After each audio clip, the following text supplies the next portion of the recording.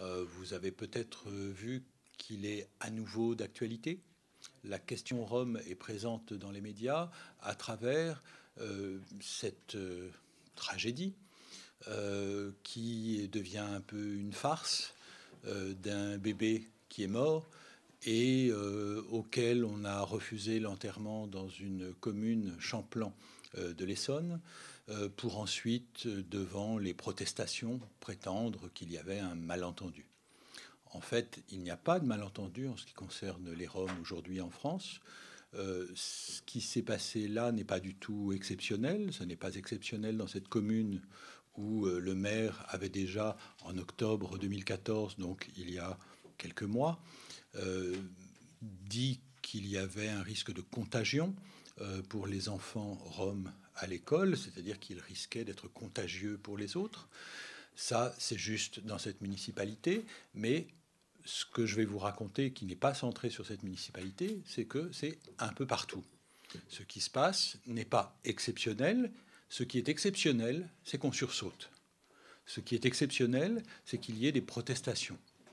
Ce qui est ordinaire, ce sont des propos, ce sont des pratiques qui tendent à constituer les Roms en une population à part qui ne serait pas soumise aux mêmes règles, et en particulier, et c'est le sens euh, du titre, ou plus exactement du sous-titre de l'ouvrage que j'ai coécrit. Euh, ce livre, il s'appelle Roms et riverains, et le sous-titre, c'est une politique municipale de la race. Le terme de race, j'en ai bien conscience, nous en avons bien conscience. Euh, c'est un terme problématique, puisque tout le monde est bien d'accord pour dire qu'il n'a pas de sens d'un point de vue biologique. Nous ne l'utilisons nullement dans un sens biologique et nous expliquons comment nous l'utilisons avec une définition assez simple, mais qui, je crois, décrit assez bien ce qu'on vient de voir à propos du refus d'inhumer dans une commune cet enfant. C'est que la définition, donc, c'est la race, c'est ce qui permet de traiter des êtres humains de manière inhumaine, sans pour autant se sentir soi-même inhumain. C'est la définition que je vous propose, euh, ce qui veut bien dire, vous l'aurez compris, que ça n'a aucun rapport avec les gens qui sont visés, et ça a tout à voir avec le traitement qui leur est réservé. Donc lorsque je parle d'une politique de la race, il faut entendre pas seulement race, mais aussi politique, c'est-à-dire la manière dont on traite les gens et non pas ce que sont les gens. C'est ce qu'on en fait et non pas ce qu'ils sont. Alors je voudrais maintenant vous brosser un peu le portrait de cette question Rome. La question Rome, euh, parler ainsi euh, de ce qui se passe euh, aujourd'hui en France et plus largement en Europe, ça revient à dire que je ne vais pas vous parler principalement des Roms.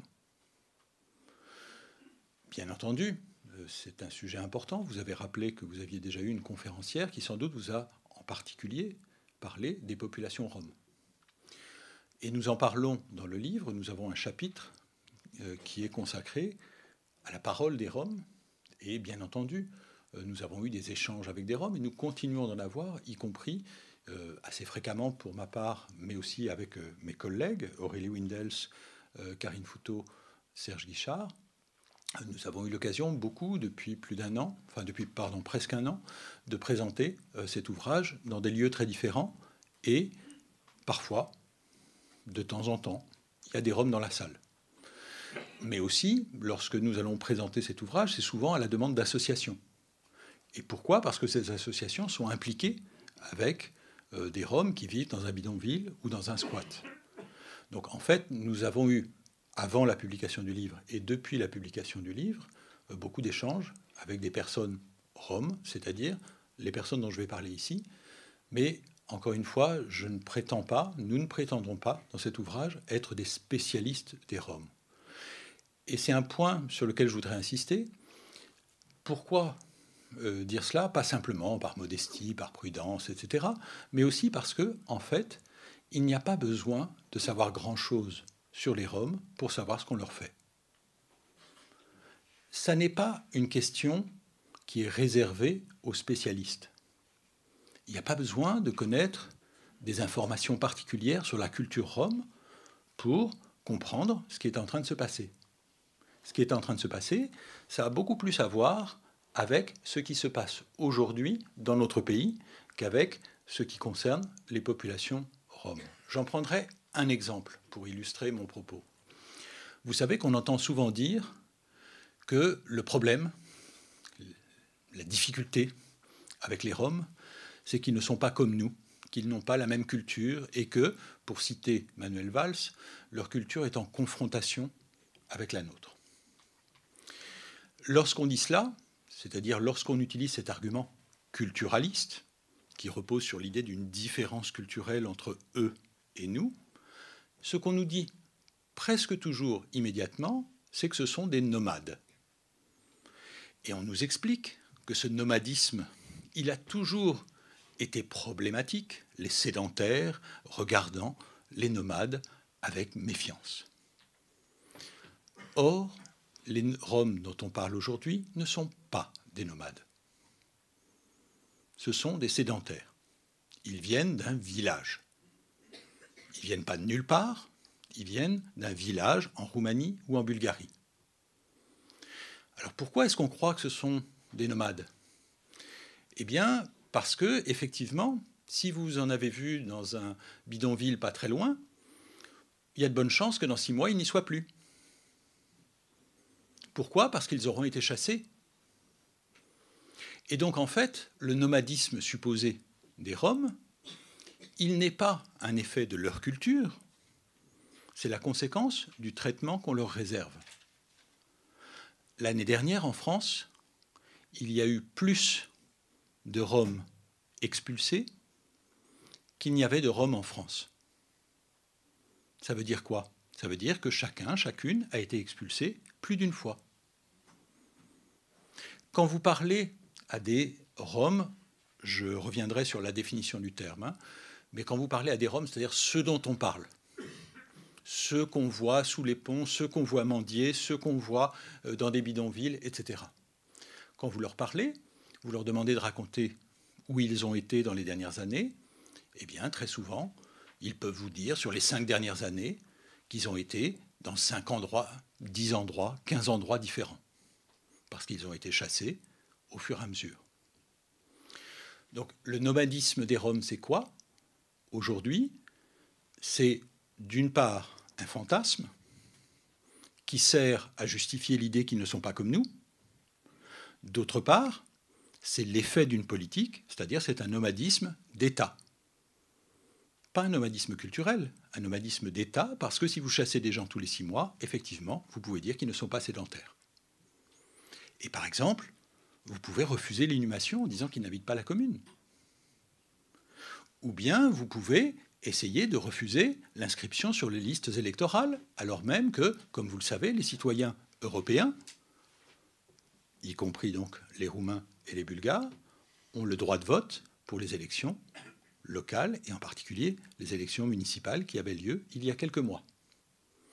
vous voyez bien que le nomadisme, c'est produit par une politique, mais ça a des effets politiques, c'est-à-dire ça les empêche d'être des citoyens européens comme les autres. C'est la raison pour laquelle cette vision des Roms comme radicalement différents, comme d'une autre nature, ou bien d'une autre culture, elle est au cœur de ce que nous appelons une politique de la race. C'est la raison pour laquelle il est très frappant que euh, les propos qui ont été tenus par Manuel Valls lorsqu'il était ministre de l'Intérieur n'ait pas pu être jugé par la justice. Il y a eu, vous le savez peut-être, deux plaintes portées contre Manuel Valls. La première par le MRAP, à la suite donc de ses propos où il expliquait que la vocation des Roms était de retourner en Roumanie ou en Bulgarie. Pourquoi y avait-il une plainte? Pourquoi ne devrait-on pas dire que les Roms ont vocation à retourner en Roumanie ou en Bulgarie eh bien, si on veut se représenter, il suffirait de dire les Juifs. Est-ce que les Juifs ont vocation à retourner en Pologne ou je ne sais où? La catégorie Rome ou la catégorie juif n'existe pas pour l'État français. L'État français reconnaît des nationalités. Les Roumains, les Français, les Allemands, mais pas les Roms, pas les Juifs, pas les Arabes, pas les Noirs. Donc mobiliser comme une catégorie d'État une catégorie qui n'existe pas pour l'État, eh bien c'est une contradiction. Et une contradiction qui est grave parce qu'elle contrevient aux principes de la République et aux principes européens. Alors comment se fait-il qu'il ne soit pas possible de poursuivre en justice Manuel Valls Première plainte, vous disais-je, du MRAP, elle a été portée devant la Cour de justice de la République. La Cour de justice de la République a jugé qu'il ne faisait, dans ses propos, qu'exprimer la politique de la France. Autrement dit, il ne pouvait pas y avoir de problème. Ça veut dire que la politique de la France ne peut pas être raciste, quoi qu'elle fasse. On ne peut pas poursuivre quelqu'un qui dit voilà ce que nous faisons. C'est ça la décision de la Cour de justice de la République. Alors vous me direz, c'est parce que ce sont des politiques et qu'ils se sont montrés solidaires de la politique d'un des leurs. Peut-être, mais il y a eu une deuxième plainte qui émanait de la Voix des Roms, une association qui revendique de parler au nom des Roms. Elle a été portée devant la justice et non pas devant la Cour de justice de la République. Or, peut-être l'avez-vous remarqué Pour ma part, je me suis employé à le dire publiquement le plus que j'ai pu. Cette plainte qui a été rendue publique le jour même où Manuel Valls était nommé Premier ministre n'a fait l'objet d'aucune information dans la presse. Il n'y a pas eu de dépêche AFP pour dire qu'il y avait une plainte contre Manuel Valls qui venait d'être nommé Premier ministre. Rappelez-vous pourtant quand Brice Hortefeux, avec un humour qui l'a rendu célèbre, euh, avait insisté sur le fait qu'en France, euh, quand il y en a un, ça va, mais c'est quand il y en a plus que. Eh bien, il avait été poursuivi. Et on en avait beaucoup parlé. Il y avait même eu condamnation. Mais en revanche, lorsque euh, Manuel Valls a vu le tribunal décider qu'il n'y avait pas lieu de le poursuivre parce que ça relevait de la Cour de justice de la République, c'est-à-dire de ceux qui avaient déjà dit qu'il n'y avait pas de problème, qu'est-ce qui s'est passé? Il y a eu une dépêche AFP.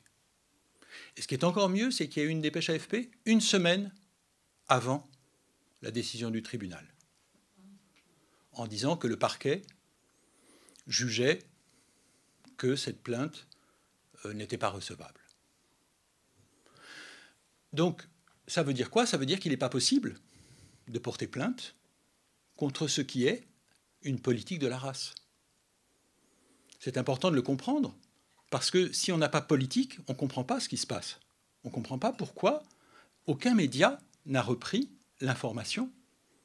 Pour ma part, j'ai eu l'occasion de donner cette information dans de nombreux médias. Pas infinis, mais des médias qui sont susceptibles d'être lus par des gens dans d'autres médias, ou dans des médias, à la radio, à la télévision, où. Ça n'était jamais repris. Donc ça veut dire quoi? Ça veut dire que ça n'est pas audible, quelles que soient les raisons particulières, que ce soit la prudence de certains journalistes, que ce soit leur accord avec la politique qui est menée, que ce soit leur sentiment qu'il ne faudrait pas heurter l'opinion publique en ayant l'air de prendre le parti de gens impopulaires, quelles que soient les raisons. Le résultat, c'est qu'on n'arrive pas à faire entendre cette question. Donc ce que nous avons essayé de faire dans notre ouvrage, c'était précisément, avant d'ailleurs cette plainte, du moins avant celle euh, de la Voix des Roms, c'était de rendre audible et de rendre lisible ce qui était en train de se passer en termes d'effet d'une politique. Donc c'est ça maintenant que je voudrais essayer de vous présenter plus longuement. Vous vous souvenez peut-être que en 2010, Nicolas Sarkozy avait prononcé à Grenoble un discours retentissant pendant l'été, à la fin du mois de juillet, qui, entre autres, posait la question de savoir si on retirerait la nationalité à des Français d'origine étrangère qui auraient commis certains crimes. Mais aussi, lors de cette intervention de celui qui était alors président de la République, Nicolas Sarkozy avait euh, abordé ce qu'on peut appeler donc la question Rome. Et pendant tout l'été 2010, on avait eu une première vague médiatisée de chasse aux Roms. À l'époque, l'opposition socialiste s'élevait fortement contre la politique menée par Nicolas Sarkozy. La première phrase de notre ouvrage est une citation de Manuel Valls, dont j'ai déjà eu l'occasion d'évoquer le nom ici. On désigne des populations à la vindicte. C'est ce qu'il disait en 2010. Pourquoi est-ce que je vous dis ça? Eh bien parce que le fait que dès l'été 2012, c'est-à-dire juste après l'élection de François Hollande, Manuel Valls mène exactement la même politique, avec en gros le même vocabulaire, et jusqu'à l'expression avoir vocation à, qui était caractéristique du lexique de Nicolas Sarkozy et qui est reprise avec insistance par Manuel Valls. Qu'est-ce que ça a comme effet? Eh bien, ça dit que, au lieu, comme en 2010, de croire qu'il y a un clivage politique qui oppose un gouvernement à une opposition, autrement dit, c'est un sujet politique. Eh bien, on se dit, ce n'est pas un sujet politique, puisque, quel que soit le président de la République, qu'il soit d'un camp ou bien de l'autre, c'est la même politique qui est menée et qui est revendiquée. Donc, ça rend politiquement illisible ce qui vient de se passer. Pourquoi est-il important de souligner ce point, à mon avis?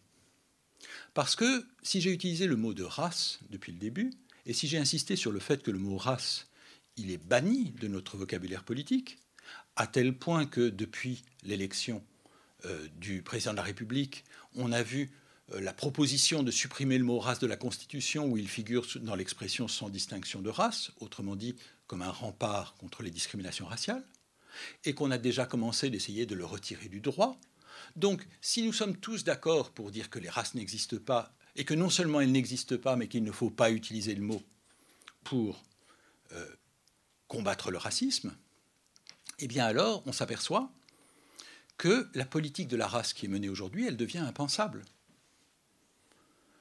Il n'y a pas de vocabulaire pour la penser. C'est la raison pour laquelle, à l'inverse, nous choisissons d'avoir ce mot qui nous met mal à l'aise, comme il vous met, je l'espère, mal à l'aise, euh, dans le sous-titre de l'ouvrage. C'est pour nommer ce qu'on rend invisible, ce qu'on rend indicible, ce qu'on rend inaudible. La politique de la race qui est menée, donc, elle est menée à condition de dire, premièrement, la race, ça n'existe pas. Deuxièmement, on ne doit pas utiliser le mot race. Troisièmement, il n'y a pas de différence entre les uns et les autres. Autrement dit, ça n'est pas une politique. Mais comment montrer que ça n'est pas une politique? Eh bien, euh, on va mettre l'accent sur le fait que c'est une question qui n'est plus du ressort de l'État. Lorsqu'on parle d'immigration, on pense aux frontières. Et lorsqu'on pense aux frontières, on pense à l'État, parce que c'est l'État qui contrôle les frontières. Mais aujourd'hui, quand on nous parle des Roms, on ne nous parle pas du tout des frontières on nous parle de politique locale. On nous parle de ce qui se passe dans telle ville ou telle ville. Si vous suivez les faits divers qui accompagnent la question Rome depuis deux ans, ils sont toujours associés à un nom de village ou de ville. Donc là, c'est Champlan, comme je le disais tout à l'heure. En juin dernier, c'était Pierrefitte, parce qu'il y avait euh, le lynchage de Darius. Vous vous en souvenez? On entend l'expulsion à Bobigny du camp des Coquetiers. On a une suite de noms propres qui sont des noms de communes, souvent en région parisienne, mais pas uniquement. Et donc, on est dans une politique locale. On a vu par exemple récemment le préfet à l'égalité des chances de la Seine-Saint-Denis, Didier Lesky, intervenir pour justifier l'expulsion de ce camp des coquetiers à Bobigny dans la presse. En particulier sur Mediapart, avec euh, un billet qu'il a écrit, et d'autre part, à l'occasion d'un article publié dans Le Monde, en attendant sans doute d'autres éléments de communication euh, d'État. Que disait-il en particulier euh, sur Mediapart? Donc ce représentant de l'État, il disait que l'État n'y peut pas grand-chose. Les Roms, c'est compliqué. Il avait eu l'occasion de le dire avant, c'est une sociologie qui nous échappe. Évidemment, en tant que sociologue, vous imaginez que j'étais très intéressé par cette déclaration. D'autant plus que j'ai été sollicité au moment euh, de l'expulsion euh, de ce camp des coquetiers par la préfecture de la Seine-Saint-Denis en me demandant de venir pour les aider à réfléchir sur l'intégration des Roms. Comme ça coïncidait avec l'expulsion, j'ai pensé que ma contribution n'était peut-être pas nécessaire, et donc j'ai décliné avec une politesse que vous imaginez. Euh, qu'est-ce que ça veut dire euh, que le préfet intervienne dans la presse pour justifier? Eh bien, ça veut dire qu'il dit c'est pas nous, c'est pas nous l'État, c'est nous, on n'y peut rien. En revanche, les municipalités, elles peuvent faire quelque chose. Et de manière tout à fait remarquable, ce préfet à l'égalité des chances choisit de nommer la municipalité de Bobigny, qui vient d'être battue aux élections, municipalité communiste de longue date, qui l'accuse en quelque sorte d'avoir entretenu le problème sans l'avoir réglé. Et donc, il intervient dans la politique locale, ce qui est relativement inhabituel publiquement pour un préfet. Normalement, les préfets ne disent pas qui a raison, qui a tort parmi les différentes municipalités d'un endroit ou d'un autre. Là, il dit, regardez, ils ont prétendu être généreux, mais ils n'ont rien fait. Donc en fait, le problème s'est aggravé. Et bien entendu, la population ne supportait plus euh, cette présence des Roms. Qu'est-ce qu'elle faisait, la population? Eh bien, elle a voté contre la municipalité parce qu'ils votaient, dit-il, contre le mariage homosexuel et les Roms.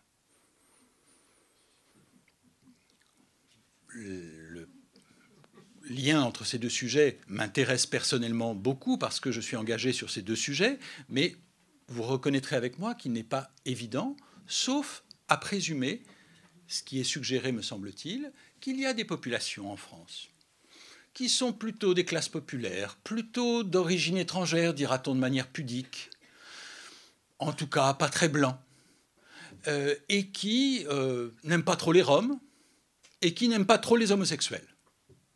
C'est très intéressant qu'un représentant de l'État produise un raisonnement comme celui-ci pour justifier l'expulsion des coquetiers à Bobigny. Ça veut dire quoi? Eh bien, ça veut dire que l'État dit c'est pas nous, c'est eux, et les gens sur le terrain, les gens, les, les, élus locaux sérieux qui savent entendre la parole des vrais gens, eh bien, ils savent que les Roms, c'est un problème. Autrement dit, l'État dit je ne fais rien, mais je sais que c'est un problème, et donc j'aide ceux qui euh, disent que c'est un problème. Et que fait l'État? Il dit je ne fais qu'appliquer la loi, je ne fais qu'appliquer les décisions de justice. Sauf que ce n'est pas vrai. L'État ne fait pas appliquer la loi pour ce qui concerne les Roms. Premièrement, très souvent, pour les expulsions, on n'attend pas les décisions de justice. Parce que les maires peuvent intervenir en disant il y a une urgence, il y a une question de santé publique, il y a une question de sécurité. C'est dangereux. Donc, on ne va pas attendre la décision de justice. Et dans ce cas-là, l'État est toujours prêt. Deuxièmement, si l'État avait pour principal souci de faire respecter la loi, ce qui pourrait paraître logique, eh bien, l'État serait intervenu de manière beaucoup plus claire, par exemple, lorsqu'il y a eu des agressions contre les Roms. Je citais tout à l'heure l'affaire de Darius, ce garçon qu'on a retrouvé massacré, on a dit lynché, dans un caddie de supermarché sur une route après avoir été tabassé et peut-être torturé. La police, d'après le journal Libération, explique que on sait qu'il y a des gens d'origine africaine,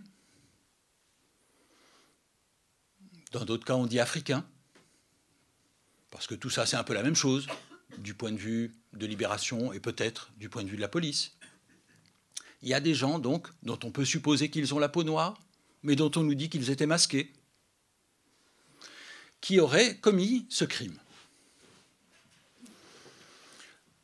Ils ont commis ce crime, mais de manière tout à fait remarquable, aucun d'entre eux, sauf erreur, mais je n'ai jamais été démenti pour l'instant sur ce point, aucun d'entre eux n'a été arrêté. Aucun d'entre eux en garde à vue. Alors même que la police sait d'où est partie l'affaire. Qu'elle a beaucoup de témoignages. C'est très remarquable. En France, vous le savez bien, d'ordinaire, on n'hésite pas tant que ça à arrêter des Noirs. Au moins les mettre en garde à vue.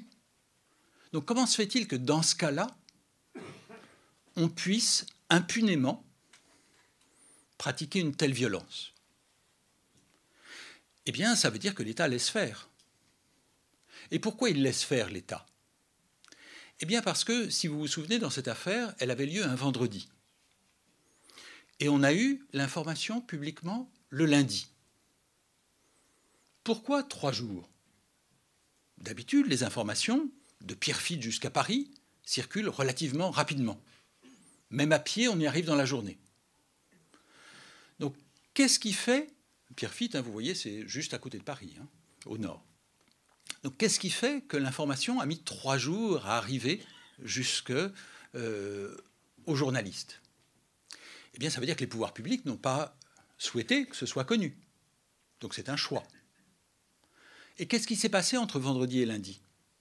C'est que les Roms qui étaient dans ce squat, ils sont partis. Autrement dit, il n'y a même pas eu besoin de les expulser ils sont partis tout seuls, librement. C'était leur choix. Bien sûr, ils avaient vu arriver une bande qui était venue massacrer l'un d'entre eux et qui avait dit on va tous vous massacrer. On peut imaginer que ça ait joué un rôle dans leur décision. Mais vous voyez, là, il y a un rôle des pouvoirs publics. Vous regardez un peu avant, deux ans plus tôt, à Marseille, vous l'aviez peut-être entendu, il y avait eu un début d'incendie euh, dans un euh, squat, on va dire, Rome, qui s'était installé depuis trois jours. Alors on dit bien sûr que les riverains étaient exaspérés, enfin en trois jours, ils n'avaient pas encore eu le temps de faire grand-chose. Le plus remarquable, c'est que ces gens qui ont mis le feu, il n'y a pas eu de blessés, hein, mais ces gens qui ont mis le feu, ils ont témoigné ouvertement, à visage découvert, dans les médias. Vous pouvez encore, si vous cherchez sur Internet, sur Google, vous trouvez facilement dans des médias euh, euh, de Marseille euh, leurs témoignages, en expliquant que vraiment, il y en avait assez de ces gens-là. Ça veut dire que l'État laisse faire. Je vais prendre un troisième exemple. Vous vous souvenez peut-être, l'année dernière, on a entendu parler, place de la République à Paris, du fait que des Roms se plaignaient qu'on leur avait jeté des produits corrosifs. On avait dit au début de l'acide. Il y a discussion pour savoir est-ce que c'était de l'acide ou de l'eau de Javel. En tout cas, l'eau de Javel n'est pas très agréable non plus. Lorsqu'on se fait asperger dans la rue à l'eau de Javel, ça pourrait être considéré comme une agression.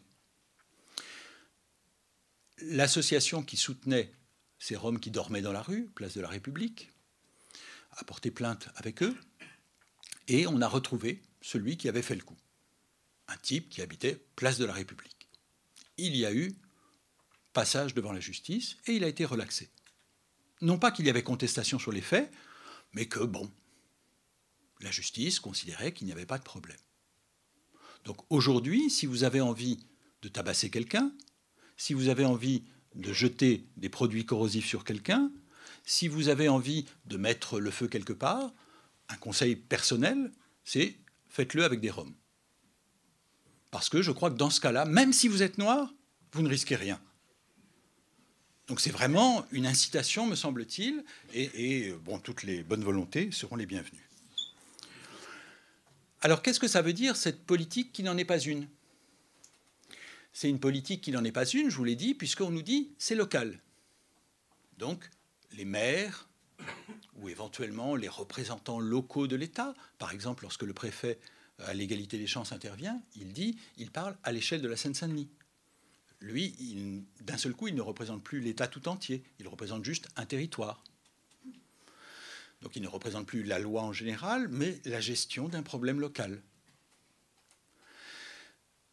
L'idée que ce sont des problèmes locaux, c'est une manière de dire que ce ne sont pas des problèmes politiques. Vous le savez bien, c'est ce qu'on nous explique toujours. C'est local, c'est juste de la gestion.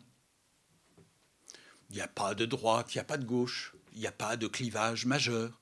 C'est en fait juste de la gestion. Il faut gérer ce problème que sont les Roms. Alors, qu'est-ce que ça veut dire Alors, on pourrait se dire, oui, ce sont les élus locaux. Mais les élus locaux, qu'est-ce qu'ils nous disent, eux? Ils nous disent, ah ben non, c'est pas moi, c'est les riverains. Vous avez peut-être entendu l'importance nouvelle de ce terme, constamment utilisé désormais dans les médias, les riverains. C'est la raison pour laquelle nous avons intitulé notre ouvrage Roms et riverains. Alors c'est quoi les riverains? Ben, Les riverains, en général, ils sont qualifiés par un adjectif. Ils sont exaspérés ou éventuellement excédés. Comment se fait-il que les Roms suscitent l'exaspération des riverains? Comment se fait-il que les riverains soient excédés? Bien, la question qu'on peut se poser, c'est comment sait-on qu'ils sont excédés? Parce qu'il y a des journalistes qui vont les voir. Mais comment les journalistes vont-ils trouver les riverains? Eh bien, parce qu'ils les voient excédés. C'est-à-dire que si vous êtes journaliste et que vous allez à côté d'un bidonville, si vous voyez quelqu'un qui est en colère, vous l'appelez riverain. Vous ne vérifiez pas s'il habite à côté. Pour ma part, une des premières fois que je suis allé dans un de ces bidonvilles, euh, j'ai été interpellé par quelqu'un dont je me suis dit, là j'ai un riverain parce qu'il n'était pas content. Il était très en colère. Il m'a dit, puisqu'il présumait, comme j'avais pas l'air rome, euh, il présumait que je venais pour expulser ou faire quelque chose. Donc, euh, il a commencé à se plaindre, dire que c'était insupportable parce qu'il y avait des odeurs. Je me suis dit que la vie de ce voisin devait être très difficile. Et effectivement, il venait à la salle de sport. Mais il habitait loin. Il venait à la salle de sport et il y avait des odeurs quand il faisait euh, sa musculation. Les salles de sport, normalement, ce sont des salles. Autrement dit, elles sont fermées. Il me dit Ah oui, mais l'été, il y a les fenêtres ouvertes. Et ils font des barbecues. Je me suis dit On est en banlieue. Un barbecue, c'est plutôt normal. Oui, mais ils font des barbecues avec du caoutchouc. Donc, en fait, en banlieue parisienne, les Roms font des barbecue avec du caoutchouc qui gêne des gens qui n'habitent pas à côté, mais qui viennent parfois faire du sport dans une salle fermée, mais dont ils aiment ouvrir les fenêtres sans sentir l'odeur des barbecues de caoutchouc des Roms. Donc j'ai eu un contact direct là avec un Rome, avec un riverain, pardon. Mais c'est quelque chose, vous pensez peut-être que j'exagère, ou Christiane Taubira était à Lyon au moment où trois Roms sont morts dans un incendie. Elle était en visite par hasard à ce moment-là euh, à Lyon, euh, en compagnie euh, de Manuel Valls à l'époque. Je reviendrai sur cet épisode tout à fait frappant, mais lorsque j'ai eu l'occasion de lui expliquer ce qui se passait autour des, des, riverains, elle me dit Oui, mais enfin, quand même, moi j'ai bien vu qu'il y avait des riverains en colère. Ben oui, il y avait une manifestation. Mais pourquoi les appelle-t-on des riverains? Qu'est-ce que ça veut dire? Ça veut dire que c'est une nouvelle catégorie du discours politique, puisqu'elle ne savait pas où ils habitaient. Elle voyait juste qu'il y avait des gens qui manifestaient. Mais par exemple, si c'était euh, des employés de mairie qui avaient été envoyés par la mairie, ou si c'était euh, des gens envoyés par leur parti, qui pourrait être le Front National ou un autre. Comment se fait-il que la garde des Sceaux, en voyant des gens, se dit ce sont des riverains Parce qu'elle l'entend dans les médias. C'est sa source d'information, comme à nous tous. Donc, à quoi reconnaît-on le riverain Au fait qu'il est excédé et pas au fait qu'il habite à côté? Mais en revanche, si vous voyez un voisin qui euh, vient apporter de l'aide dans un bidonville, par exemple en apportant à manger, en emmenant les gosses à l'école, ou bien en aidant à remplir les papiers euh, pour différentes institutions, etc. Vous ne l'entendez jamais appeler riverain. Jamais. On vous dit que c'est un militant. Parce que ceux qui défendent les Roms sont des militants, ils font de la politique, mais ceux qui s'opposent aux Roms, ils ne font pas de politique.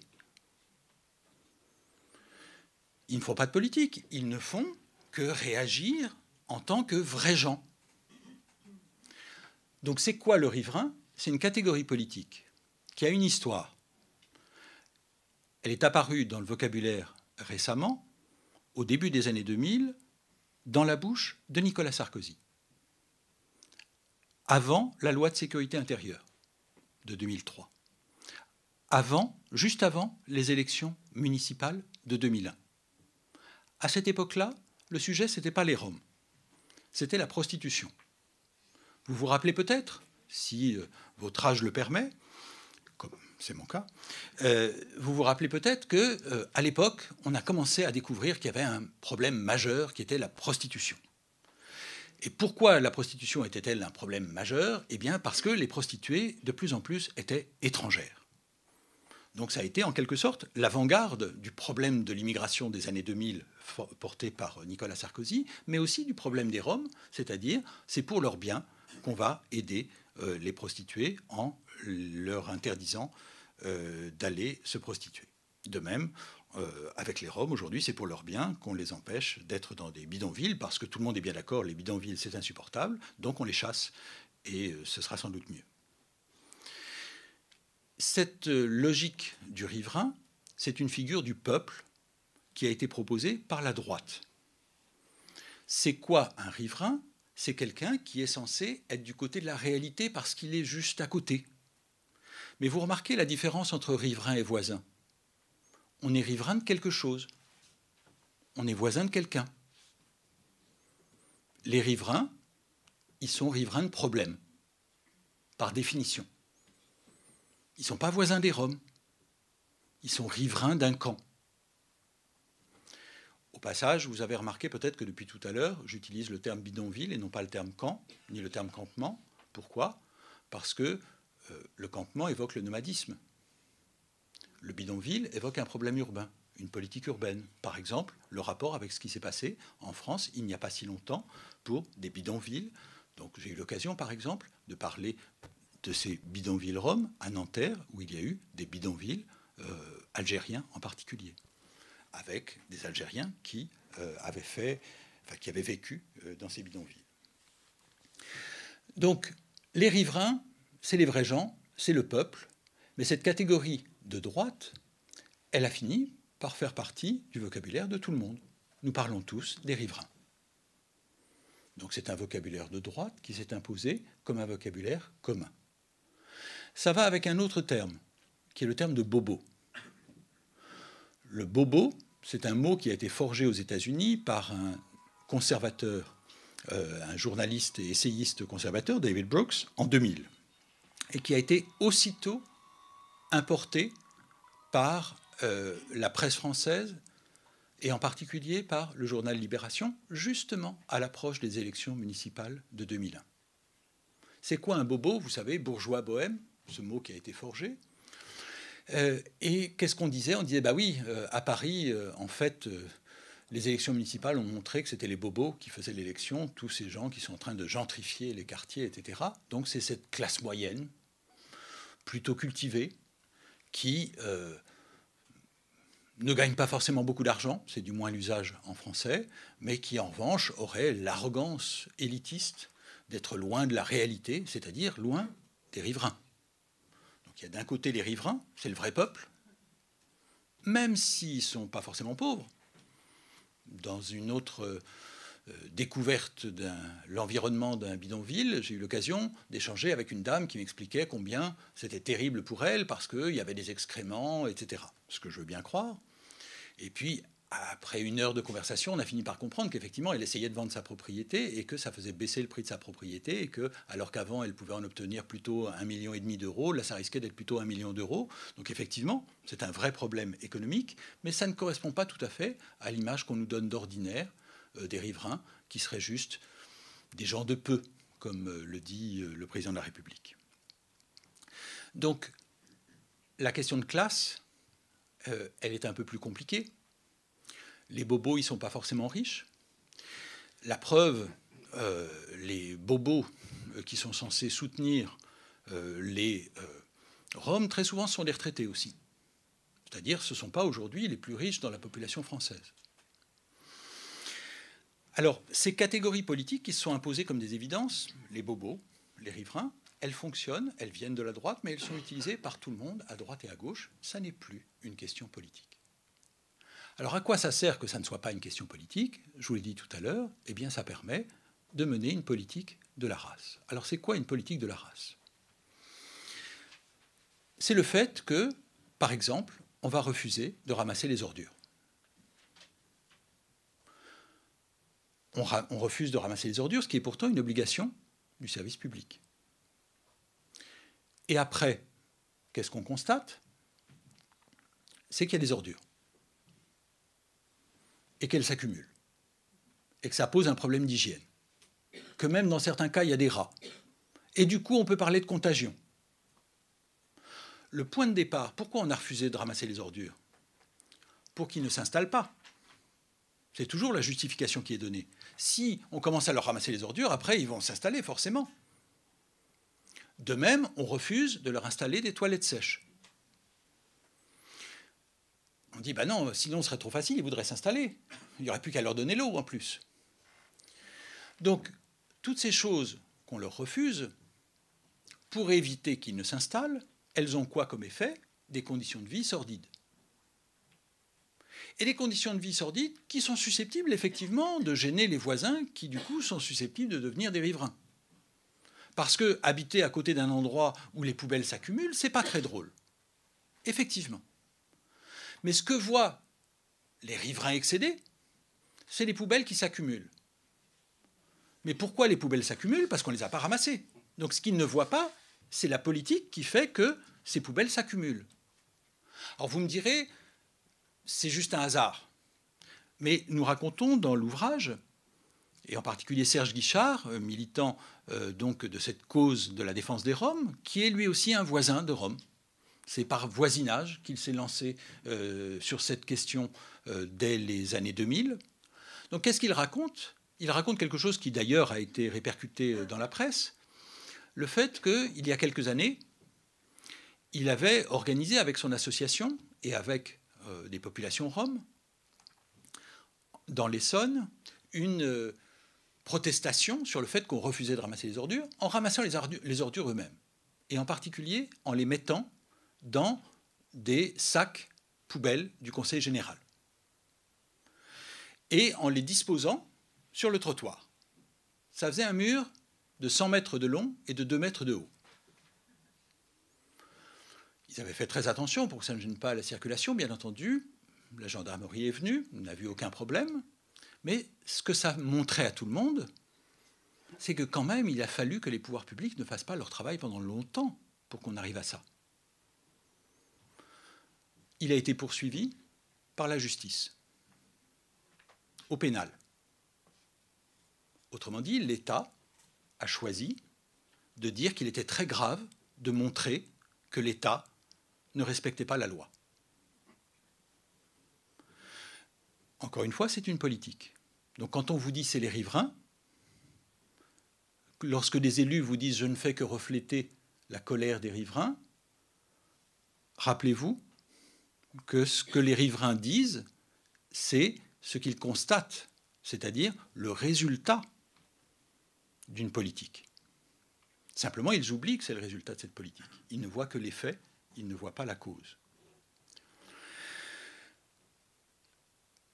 Cette manière de créer une différence entre eux et nous, elle passe donc par exemple par l'hygiène, mais elle passe aussi par l'école, le fait que très souvent on refuse d'inscrire des enfants à l'école. C'est pourtant aussi une obligation légale.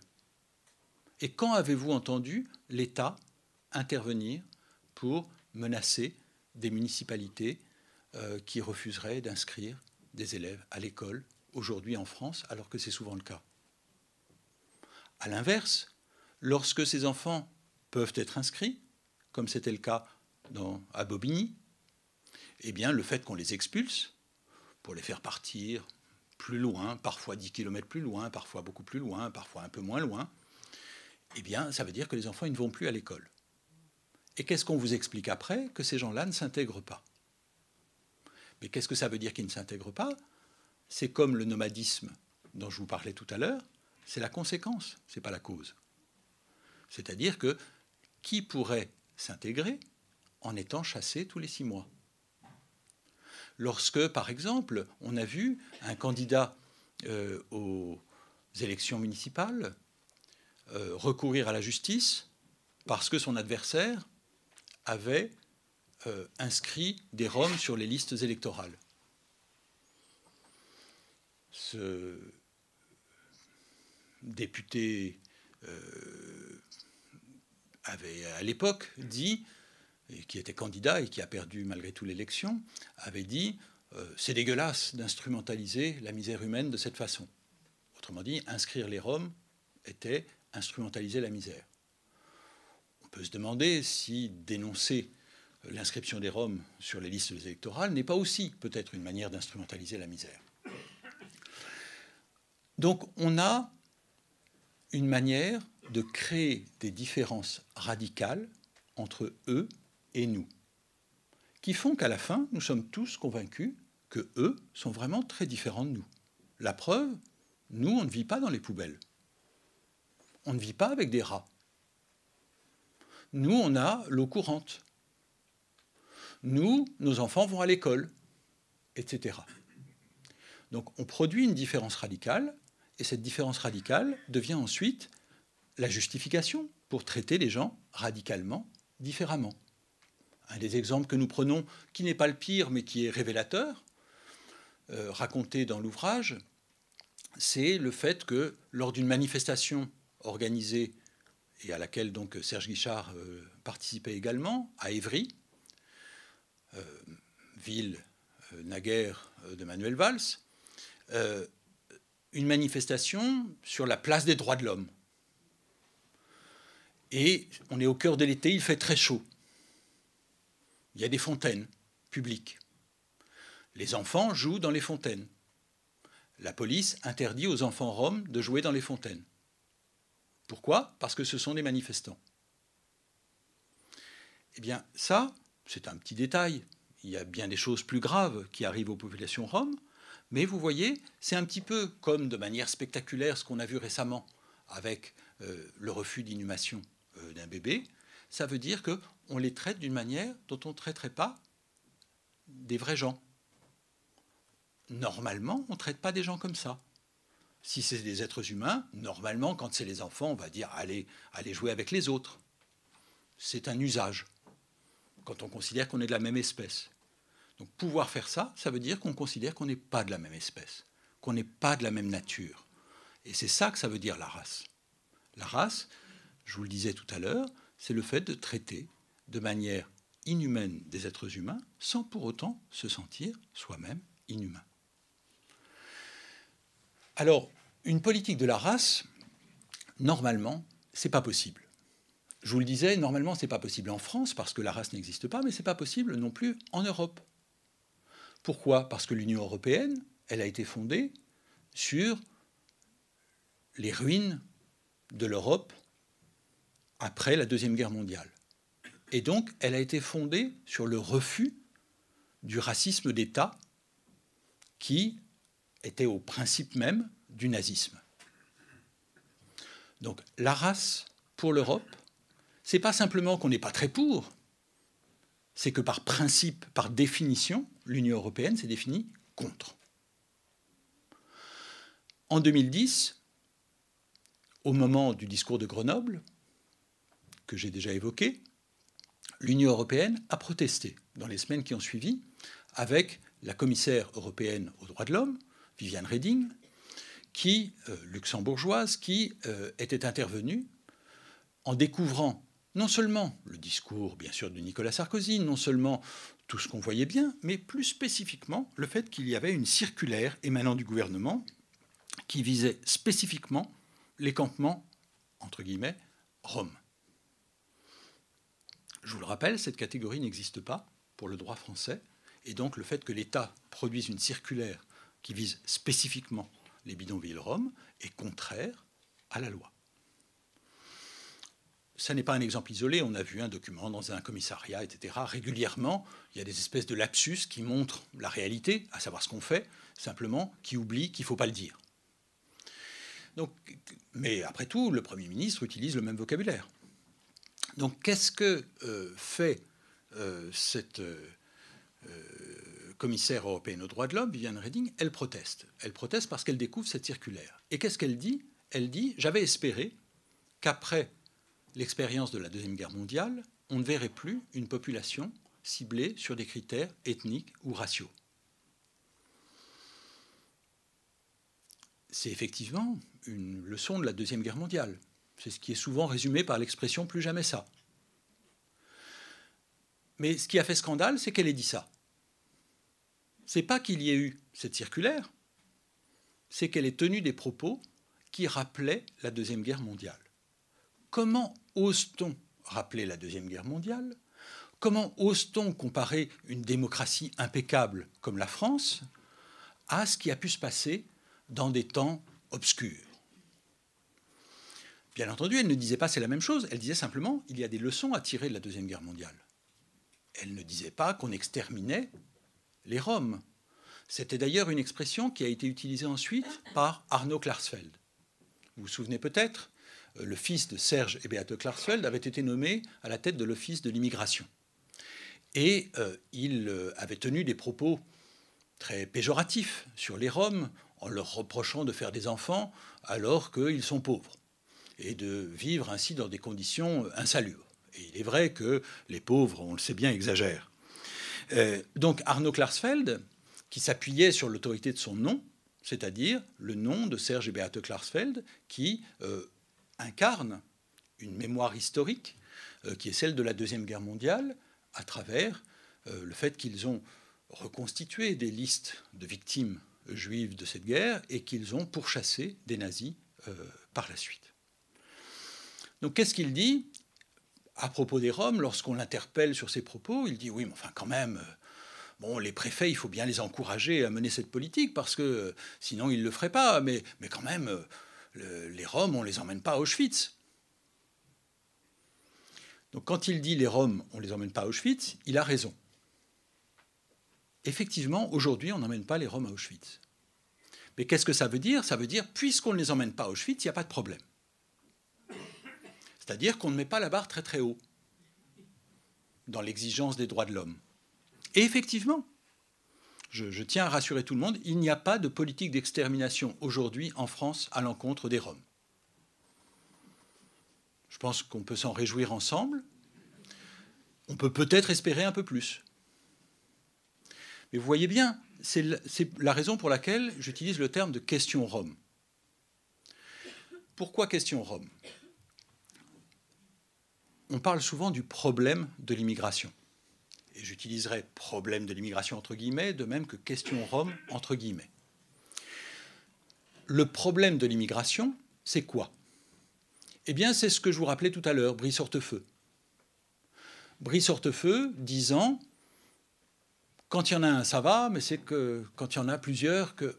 ça veut dire quoi? Ça veut dire j'ai rien contre les immigrés, j'ai rien contre les Arabes, c'est juste que je voudrais qu'il n'y en ait pas trop ça, c'est le problème de l'immigration, c'est-à-dire c'est ce que raconte le Front, National, par exemple, depuis 40 ans. C'est que tant de millions d'étrangers, tant de millions de chômeurs, donc en fait, il suffit de rapprocher les deux pour se dire il y a un problème massif. Et effectivement, qu'est-ce qu'on nous dit tout le temps sur l'immigration? C'est qu'il y en a beaucoup. On nous dit il y en a des millions. On nous dit, par exemple, euh, avec Nicolas Sarkozy depuis 2005, on nous parle de l'immigration subie. C'est quoi l'immigration subie? Ben, C'est parce que l'immigration clandestine, il n'y en a pas assez. 300 000, 400 000, c'est pas grand-chose pour une population de 65 millions d'habitants. Mais si vous dites non plus les sans-papiers, mais l'immigration subie, c'est super. Parce qu'à ce moment-là, vous comptez les étudiants, vous comptez les demandeurs d'asile, vous comptez les gens qui viennent ici pour raison de santé, vous comptez les gens qui se marient avec des Français, vous comptez le regroupement familial, autrement dit, l'immigration légale sous toutes ses formes, sauf l'immigration économique. C'est beaucoup mieux parce qu'au lieu de dire il y en a 300 000 au total, eh ben, vous pouvez dire il y en a 200 000 par an. Et donc vous pouvez faire comme Claude Guéant, il y a quelque temps, qui disait une ville comme Rennes tous les ans. Donc vous dites, il y en a vraiment beaucoup. Hein. Donc, alors, évidemment, ça n'a pas de sens, puisqu'il y en a beaucoup qui repartent, par exemple les étudiants, par exemple, etc. Mais bon, je, je n'entre pas dans la vérité des choses, mais simplement, qu'est-ce qu'on nous dit? On nous dit, il y en a énormément. C'est à ça que ça sert de parler d'immigration subie. Pour les Roms, combien il y en a en France? Roumains, Bulgares, donc ceux dont on parle, hein, qui vivent dans des bidonvilles, etc., entre 15 et 20 000. Pour ma part, le chiffre arbitraire que j'utilise toujours, c'est 18 000. À la louche, c'est à peu près ça. Euh, pourquoi 18 000 Parce qu'il y a 36 000 communes en France et que ça permet de se représenter un demi-rome par commune, pour avoir un ordre de grandeur. Donc du coup, vous voyez que ce n'est pas énorme si vous voulez, on peut dire 18 000 par rapport à euh, plus de 65 millions. Vous voyez, ce n'est pas énorme. Donc comment se fait-il qu'on en parle tout le temps? Comment se fait-il que vous ayez, à juste titre, souhaité euh, entendre parler de tout ça? Comment se fait-il que ce soit un sujet si important? C'est plus du tout comme le problème de l'immigration, où on nous dit qu'il y en a des millions. Là, pour les Roms, on pourrait très bien nous dire qu'il y en a 400 000. Parce que les chiffres européens, c'est qu'il y a 400 000 Roms en France. Ça veut dire quoi? Ça veut dire qu'ils comptent des Roms, qui sont peut-être Roms, qui sont peut-être pas Roms, j'en sais rien, mais qui sont français. Et que on ne voit pas particulièrement parce que ça ne se voit pas toujours sur le visage. En gros, ils sont peut-être un peu basanés comme moi, mais finalement, entre un basané comme moi et un autre basané pour une autre raison, c'est un peu pareil, hein, tout ça. Donc en fait, il y a peut-être des Roms dans la salle et on ne le sait peut-être pas. Ben voilà. Donc ça, si on voulait dire qu'il y a beaucoup de Roms, on dirait, regardez, il y en a 400 000, vous vous rendez pas compte, il y en a plein dans la salle. On pourrait nous dire ça, on ne nous dit jamais ça. Ce qu'on nous dit, c'est, de toute façon, il y en a trop. Même s'il n'y en avait que 10, disait un élu à Marseille, ce serait déjà trop.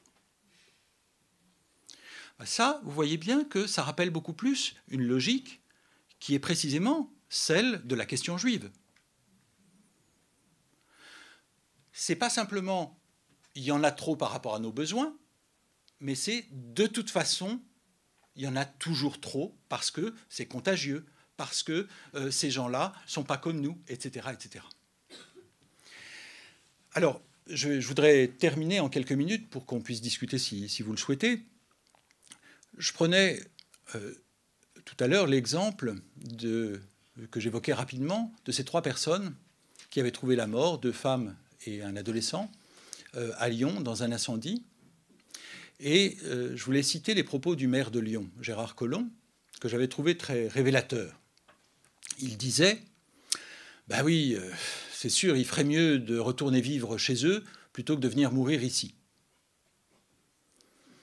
Ça, ça décrit une politique. C'est-à-dire que si le commentaire qu'on a à faire après la mort de trois personnes, c'est ça, ça veut dire que c'est le sens même de ce qui vient de se passer. Autrement dit, rendez-vous compte, soyez rationnel. Vous seriez mieux à rentrer en Roumanie ou en Bulgarie plutôt qu'à venir mourir ici. Ça, c'est une politique que dans le livre nous avons appelée auto-expulsion. L'auto-expulsion, c'est quoi? C'est de dire, puisque vous êtes européen, vous avez des droits. Je ne peux pas vous traiter comme je traiterais des Africains. Les Africains, je peux très bien dire, vous n'êtes pas européen, je vous remets dans un charter. Il y aura des gens qui vont protester. Pas beaucoup, de moins en moins. Mais bon, j'ai le droit. Mais en revanche, les Roms, j'ai pas le droit. Les Roms, il y a quand même le fait que, manque de chance, ils sont européens et ils ont des droits. Alors bien sûr, il y a eu le moment où Manuel Valls a proposé, brièvement à la radio le fait de réviser Schengen pour que euh, la liberté de circuler soit seulement aux aéroports et pas euh, pour les gens qui arriveraient en car. Autrement dit, oui aux businessmen roumains, non aux Roms euh, en bus. Cette conception censitaire de l'Europe n'a pour l'instant pas été mise en œuvre officiellement, mais vous pouvez être certain que de facto, c'est ce qui se passe. Euh, c'est pas la loi, mais c'est la pratique. Donc, l'auto-expulsion, c'est de dire, puisque je ne peux pas officiellement dire que je vais faire ça, eh bien, je vais créer des conditions de vie telles qui finiront par choisir en toute liberté d'eux-mêmes de partir. Qu'ils finiront par se dire, vraiment, je suis beaucoup mieux ailleurs qu'ici. Le problème, c'est qu'ils viennent de conditions difficiles. La crise économique est très dure en Roumanie et en Bulgarie. La preuve, en Roumanie, plus de 10% de la population est partie en une vingtaine d'années. Pas seulement les Roms. Les Roms un peu plus. Pourquoi? Parce qu'ils sont victimes de discrimination dans ce pays. Donc vous cumulez les conditions économiques de pauvreté et la discrimination, et vous comprenez pourquoi ils viennent. Donc si vous voulez être sûr qu'ils repartent, il va falloir leur créer des conditions de vie pires que celles qu'ils avaient au départ. Mais vous voyez bien qu'il faut monter là-bas très très haut. Il faut être très exigeant dans la persécution. Cette politique, donc, pourquoi vise-t-elle les Roms? Ce que je voudrais suggérer, euh, pour terminer, c'est que je vous disais tout à l'heure que Viviane Reding, elle protestait en 2010 et que c'est elle qui a choqué et non pas la politique qui était menée. Mais depuis, vous n'entendez plus l'Europe. L'Europe laisse faire. L'Europe n'est pas en train de protester contre ce qui se passe, ni en France, ni en Italie, ni ailleurs. L'Europe proteste, par exemple, contre ce qui est susceptible de se passer en Grèce à l'occasion des élections. Euh, c'est-à-dire des gens qui voteraient, mais pas pour le parti prévu. Euh, mais en revanche, ce qui peut se passer en Hongrie ou ce qui peut se passer euh, en France à l'encontre des Roms, etc., manifestement, n'est plus un problème. Ça veut dire quoi? Ça veut dire que l'Europe, aujourd'hui, elle est définie par un projet qui est un projet néolibéral. Ce projet néolibéral, qui est aussi euh, celui qui est porté en France et par la majorité et par l'opposition, il revient à dire que ce qui est important, c'est d'avoir de la valeur. Nous devons avoir de la valeur. C'est ça le néolibéralisme. C'est pas simplement avoir de l'argent, c'est avoir de la valeur. Donc, essayer de se valoriser soi-même le plus possible. C'est ça le néolibéralisme. Faire fructifier pas simplement son capital économique, mais son capital scolaire, son capital humain, son capital social, donc faire fructifier ce qu'on est. C'est ça le néolibéralisme. Or, qu'est-ce qu'on nous dit sur les Roms? C'est qu'ils ne valent rien. Ils n'ont pas de valeur ce sont des vauriens. C'est ça qu'on nous dit tout le temps. Regardez, nous dit-on, il dit. Et quand il dit, on voit bien qu'économiquement, ce n'est pas une source de revenus très importante. Il y a eu des enquêtes qui ont été faites en Suisse, ça ne va pas chercher très loin. Lorsque euh, on leur reproche aussi de trafiquer de la ferraille, c'est une économie assez secondaire tout ce qu'on leur reproche, y compris dans le vol, lorsqu'on dit ce sont des voleurs de poules. Vous voyez bien qu'on ne les accuse pas de détourner des milliards. On les accuse de voler des poules. Donc, économiquement, ils ne valent rien. Donc, ils sont du côté de ce qu'on jette. C'est pas hasard si on les retrouve à côté des décharges publiques. C'est pas hasard si on laisse les poubelles s'accumuler chez eux. Ils sont du côté du rebut ce qu'on jette, ce qui ne vaut rien. C'est du déchet. Vous l'aurez compris, ce n'est pas mon point de vue. Mais c'est la manière dont on les traite. Mais alors on pourrait se dire, bah donc ils servent à rien. Ah si, ils servent à rien économiquement, nous dit-on, mais ils servent à quelque chose politiquement. On les jette, donc ils servent à rien, mais ils servent à quoi? À être rejetés. À quoi ça sert les Roms aujourd'hui en Europe, en France en particulier Ça sert à être ce qu'on ne veut pas. Ça sert à être ce qu'on ne veut pas être. Parce que c'est pas simplement qu'on veut pas des Roms, c'est qu'on veut surtout pas être comme les Roms. Qu'est-ce qui se passe à Pierrefitte, par exemple, que j'évoquais tout à l'heure? Qu'est-ce qui se passe un peu partout lorsqu'on entend que des Français de classe populaire, des Africains, nous dit-on, des Maghrébins, seraient en train de s'en prendre à des Roms? Qu'est-ce qu'ils disent, les uns et les autres il n'y a pas que, bien sûr. Hein. le bobo de République, dont je vous parlais tout à l'heure, euh, lui aussi. Mais qu'est-ce que disent ces prolétaires euh, Qu'est-ce que disent ces gens d'origine étrangère, etc. Ils disent oh, quand même, moi, je ne suis pas comme un Rome. Quand même. Et la preuve, c'est qu'effectivement, l'État ne leur reprochera pas de s'être comporté comme ils l'ont fait à Pierrefitte. Pour une fois, l'État se montre généreux, indulgent, euh, tolérant euh, et donc, ce qu'ils découvrent, c'est qu'ils ont une valeur. Ceux qui d'habitude sont l'objet de discrimination, ceux qui d'habitude sont l'objet d'un mépris social, soit en raison de leur origine, soit en raison de leur pauvreté, peuvent se dire, après tout, je vaux quand même mieux que ces gens-là. Eux, ce sont des vauriens, moi, je suis du bon côté de la barrière raciale. C'est ça qu'on propose aujourd'hui avec la question Rome. On dit à tout le monde, même si vous ne valez rien, vous valez quand même mieux que ces vauriens. Et on comprend que cette politique, elle exacerbe des tensions qu'il faut bien appeler raciales. Je vous remercie.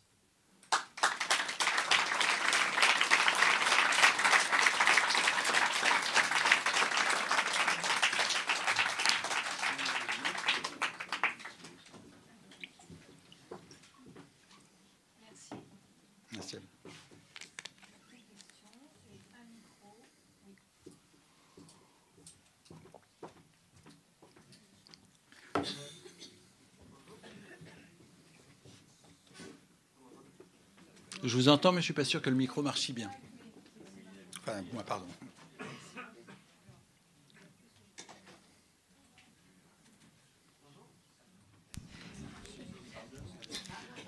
Euh, je suis très impressionné par votre euh, démonstration de comment dire euh, comment vous l'avez appelé de politique raciale politique de la race politique de la race sans jamais vous ramener à des questions ethniques ou génétiques. Et donc, je me demandais si dans votre démonstration, le concept de race était totalement décorrélé de l'ethnie et si donc c'était juste une construction sociale et non plus une question de peuple. Je réponds une question à la fois Comme vous voulez. Oh, J'ai qu'à répondre là et puis on verra bien. Ben, je, réponds, enfin oui, donc oui. Euh, je, je, prendrai peut-être deux ou trois exemples effectivement, je crois qu'il est très important de ne pas présumer que quand on parle de race, il y a derrière une réalité raciale. Donc il s'agit de produire de la différence et non pas de partir de la différence. Je vais prendre euh, un exemple classique en sociologie, puis après je prendrai euh, d'autres exemples qui ne sont pas du ressort de la sociologie spécifiquement. Il y a un livre qui avait été écrit par euh, le sociologue Norbert Elias, sur euh, les établis et les outsiders. Et euh, il étudie les quartiers populaires en Angleterre. En gros, tout le monde est blanc. Ils ont tous la même tête, ils sont tous de classe populaire. Simplement, il y a ceux qui viennent d'arriver et il y a les autres. Et en fait, on arrive à recréer des différences raciales, alors même qu'ils ont la même tête, que c'est les mêmes. Simplement parce qu'on finit par se dire ces gens-là, ils ne sont pas comme nous ils sont pas comme nous. Donc, vous avez vu, dans leur famille, ça se passe pas du tout comme dans les nôtres, euh, la manière dont ils traitent leurs femmes, etc., euh, etc. Donc, ils montrent comment on produit des différences qui finissent par donner l'impression qu'on n'est pas du tout de la même nature, alors que ce sont les mêmes. Je prendrai un deuxième exemple. Dans l'immigration juive en France, il y a pu y avoir des effets de racisme entre juifs, avec ceux qui étaient là depuis un moment et ceux qui étaient arrivés plus récemment, et qui pouvaient se dire non mais quand même nous on n'a rien à voir avec les autres qui sont etc. Je vais prendre un autre exemple. Ça peut se jouer aussi parfois dans les populations noires, où il peut y avoir euh, des Antillais qui vont dire non mais attendez, on n'est quand même pas comme les Africains, parce que les Africains, ils sont polygames, ils sont euh, musulmans, ils sont alors que nous, on est des bons chrétiens républicains, etc. Je ne dis pas que tous les Antillais sont comme ça, ni que tous les Juifs, etc., etc. Hein, vous l'aurez compris. Mais je veux dire que c'est des mécanismes qu'on peut retrouver dans des populations très sourdes. Donc il est important de ne pas présumer que c'est la différence qui produit le traitement différent, mais de voir que le traitement différent peut produire à la fin des différences. Et effectivement, à la fin, on se dit que vraiment les Roms ne sont pas comme nous. Hein. Donc je, crois qu'il n'y a pas besoin, enfin qu'on a même intérêt à se méfier de tout ce qui donnerait l'impression que la race, ça existe. Je prendrai un dernier exemple, les Blancs. Parce qu'on ne parle pas assez des Blancs quand on parle des questions raciales, donc je souhaiterais aborder ce sujet. Euh, on a tendance, quand on parle des questions raciales, à parler des autres, des non-blancs. Mais et les Blancs là-dedans?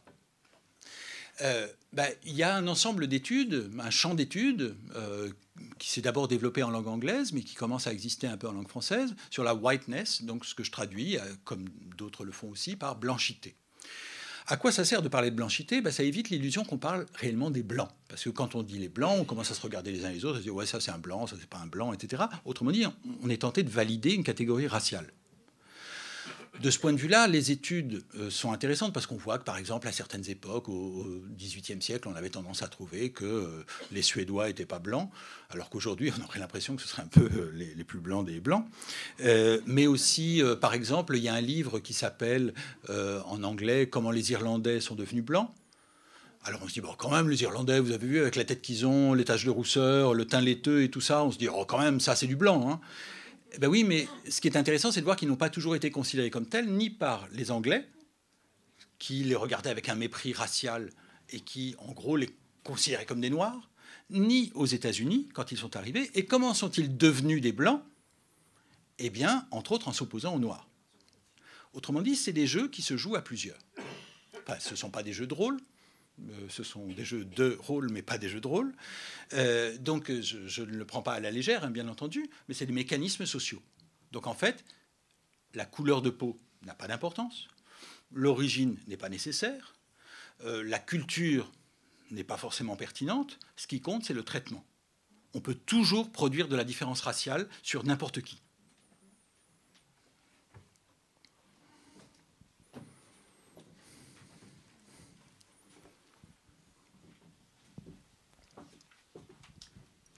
Oui, bonsoir.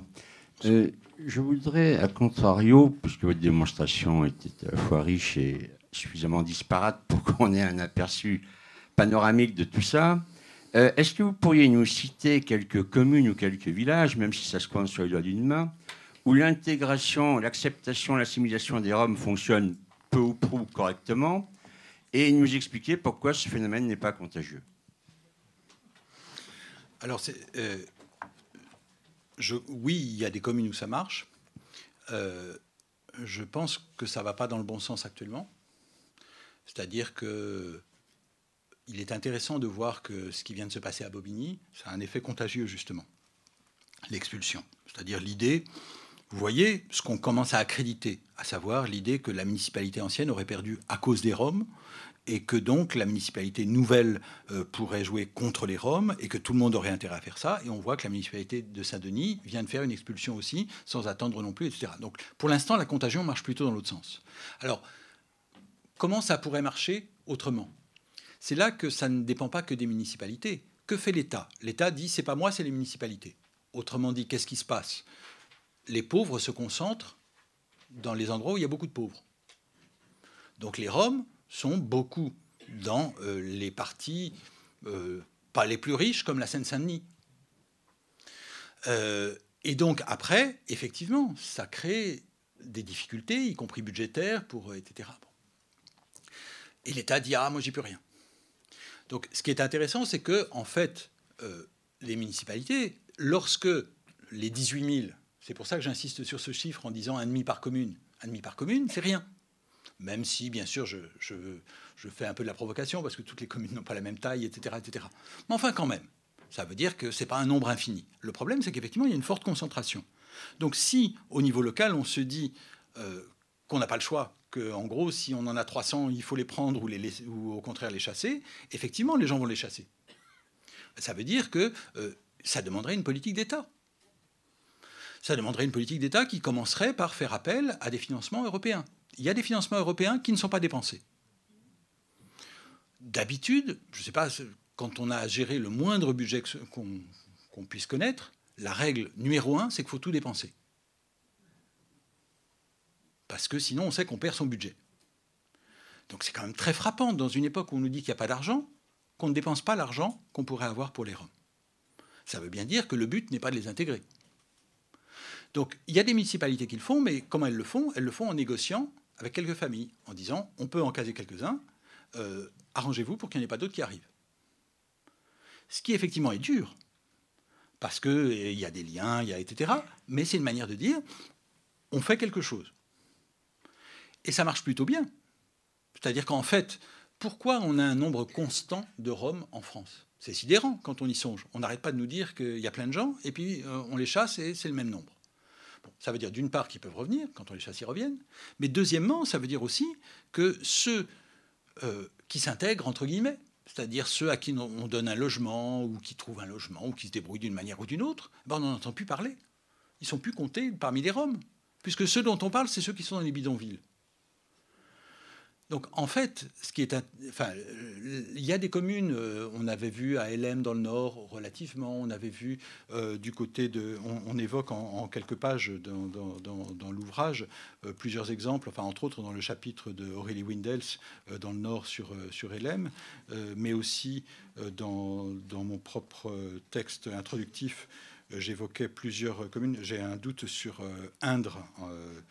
Euh, qui, est, une commune. Et puis euh, il y en a une autre que je voulais citer, mais pardon, j'ai un trou de mémoire. Donc il y, a quelques communes euh, qui ont été relativement mises en avant, qui ont joué le jeu. Mais elles jouent le jeu, non pas effectivement en disant on va assumer 1000 personnes. Donc la question, c'est comment se fait-il que l'État arrive à accréditer l'idée que c'est de la seule responsabilité des municipalités? Comment se fait-il qu'on ait l'impression que ce soit une politique qui n'est pas une politique? Donc comment ça pourrait être contagieux? Euh, Je crois que d'abord, ce qu'il faut voir, c'est que justement, quand ça marche, personne n'en parle. C'est-à-dire, euh, s'il euh, y a des Roms qui vivent dans un bidonville et qu'on les aide un petit peu, et que du coup les gosses vont à l'école, et les gosses, souvent, ils apprennent vite le français. Euh, et les parents, bah, ils se débrouillent, et puis si on les aide un petit peu, etc. En gros, ça se débrouille. On n'en entend jamais parler. Or, il y en a. Euh, par exemple, euh, il y avait un, documentaire qui s'appelle Caravane 55, qui a été fait il y a plus d'une dizaine d'années dans une commune de région parisienne, en montrant justement comment on démantelait un bidonville, etc. Et la municipalité de cette petite ville s'était mobilisée pour euh, soutenir ces populations roms à l'époque. C'était une autre époque. Et euh, la réalisatrice, les deux réalisatrices, s'apprêtent à tourner la suite. C'est-à-dire sont retournées voir euh, des gens qui étaient restés là, des Roms qui étaient restés là, et qui ont eu des trajectoires normales. Donc en fait, le problème, c'est que ça ne se voit pas. Ça ne se voit pas, puisqu'on ne parle que de ceux qui sont considérés comme un problème. On ne parle que de la question Rome. C'est la raison pour laquelle je vous disais tout à l'heure, on parle des 18 000 et pas des 400 000. Donc je ne sais pas si, je vous réponds, mais je, crois que ce qu'on a intérêt à faire, en fait, si, je peux, avec toute mon expérience de sociologue, donner une consigne de compréhension des choses, c'est que si vous voulez comprendre à peu près qui sont les Roms, dites-vous, c'est des gens.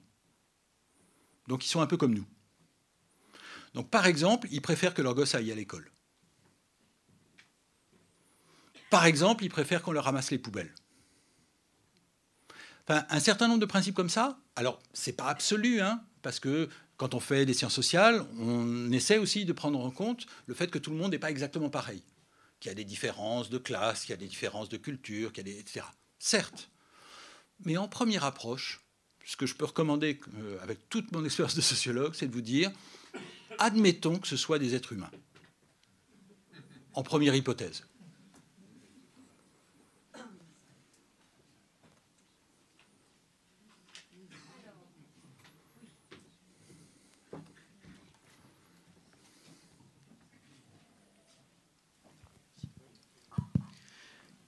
Comment vous analysez le comportement des politiques euh, qu'on a vu aujourd'hui et à chaque euh, petit fait divers, notamment chez Manuel Valls, de l'indignation quand il s'agit d'un cas isolé?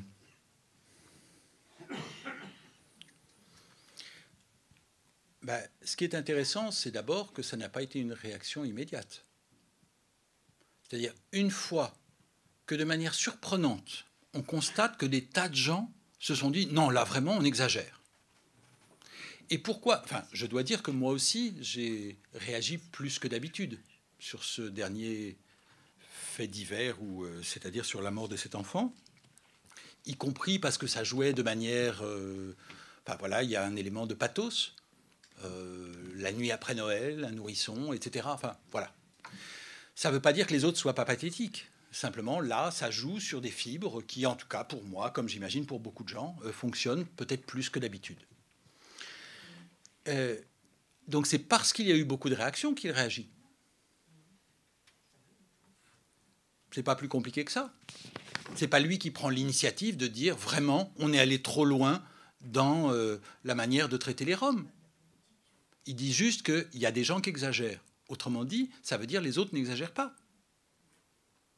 Il vient lui-même d'être blanchi par le tribunal, non pas que le tribunal lui ait donné raison, mais que le tribunal a dit Ah, je peux rien dire, c'est la Cour de justice de la République. Et la Cour de justice de la République a dit Ah, ben, c'est la politique de la France. Donc en fait, l'État a blanchi l'État.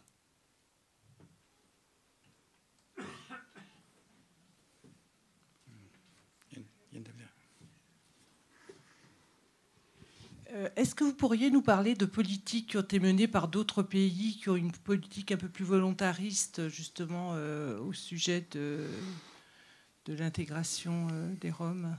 Alors, euh, je connais moins bien, donc je serai prudent, mais il y a un exemple euh, assez frappant, et Aurélie Windels est en train de continuer à travailler, euh, et je souhaite le faire aussi, mais je ne l'ai pas encore rejointe dans ce travail, sur le, disons, des comparaisons européennes, et en particulier en Espagne. Ce qui est très intéressant, c'est que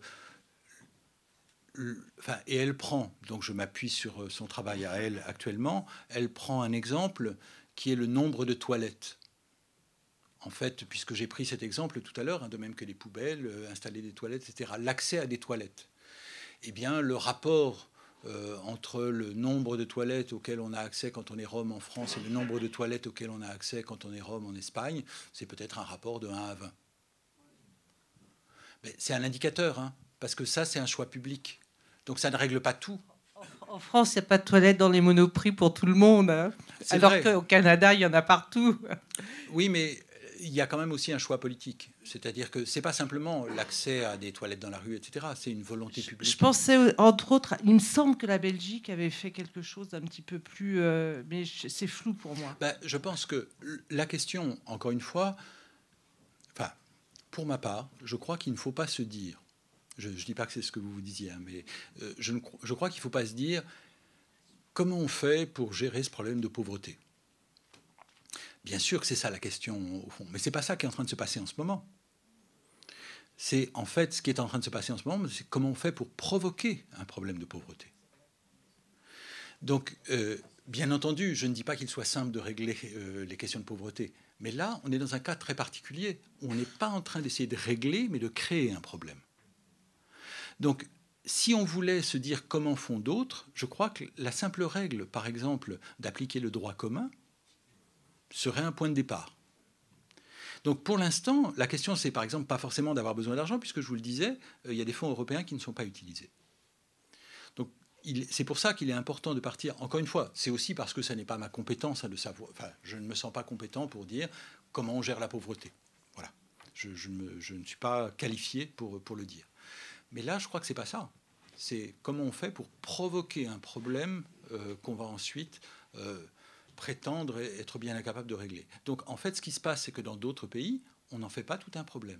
Dans certains pays, oui, en France, en Italie, en Hongrie, euh, mais dans d'autres pays, non.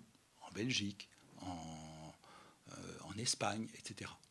Donc la première question, c'est est-ce qu'on essaie de grossir le problème, de le faire enfler, de le faire gonfler, ou bien est-ce qu'au contraire, on essaie de se dire, bon, il y a des trucs à régler. Mais je vous assure, l'indice des toilettes euh, n'est pas un indice euh, inintéressant. Juste pour compléter la, question de la précédente, là, quel est le traitement dans le pays d'origine, enfin, en Bulgarie et en Roumanie? Cette question. Oui, oui. La, première chose, euh, je le rappelais quand même parce que je crois que c'est l'élément majeur, euh, c'est la pauvreté, enfin, les, conditions économiques très difficiles dans ces pays pour tout le monde. Enfin, pas pour tout le monde, mais en tout cas pour beaucoup de gens. La deuxième chose, c'est effectivement qu'il y a une longue tradition de discrimination, voire de persécution à l'égard euh, des Roms. Euh, ce qui effectivement fait, enfin encore une fois, c'est une des raisons pour lesquelles les gens partent. C'est pas la seule, parce que vraiment la question économique est très importante.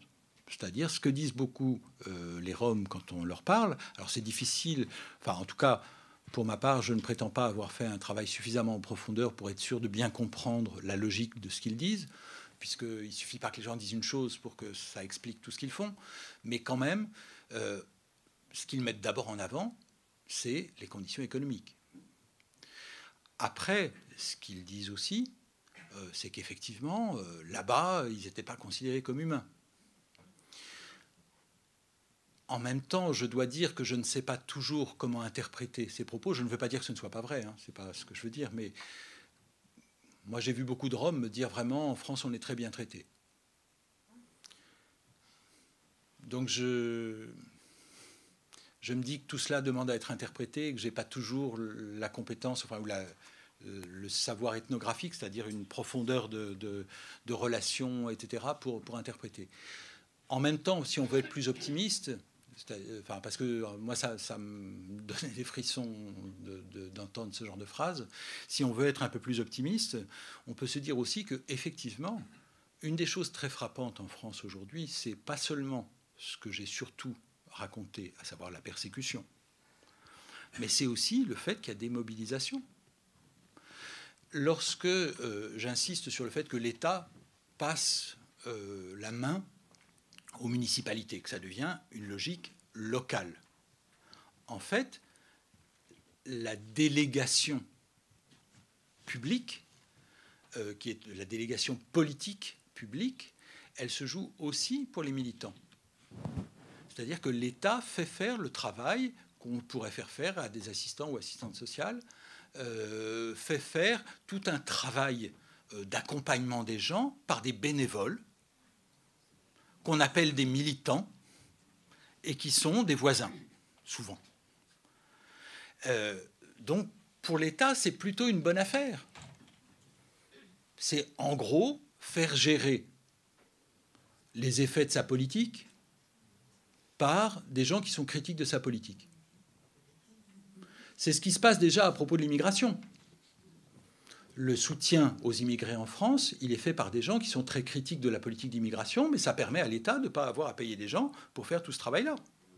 Parce que quand on décrit les militants qui vont euh, dans les bidonvilles pour aider les gens à remplir des papiers, ou emmener les gosses à l'école, ou etc. C'est tout un travail social qui est fait de manière bénévole par des gens qui sont critiques de cette politique et qui, en ce sens-là, enfin je le dis euh, avec un profond respect, hein, euh, mais qui se retrouvent dans une sorte de contradiction objective de faire le sale boulot de l'État.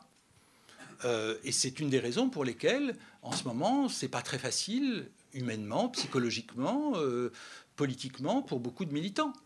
C'est d'être pris dans une contradiction objective. Encore une fois, hein, comprenez-moi bien, je ne suis pas en train de critiquer, et c'est ce que disent beaucoup de militants, c'est ce que disent beaucoup de gens qui s'épuisent à faire tout ce travail euh, en se disant mais je voulais faire de la politique et je me retrouve à faire du travail social bénévolement euh, pour un État dont je désapprouve la politique.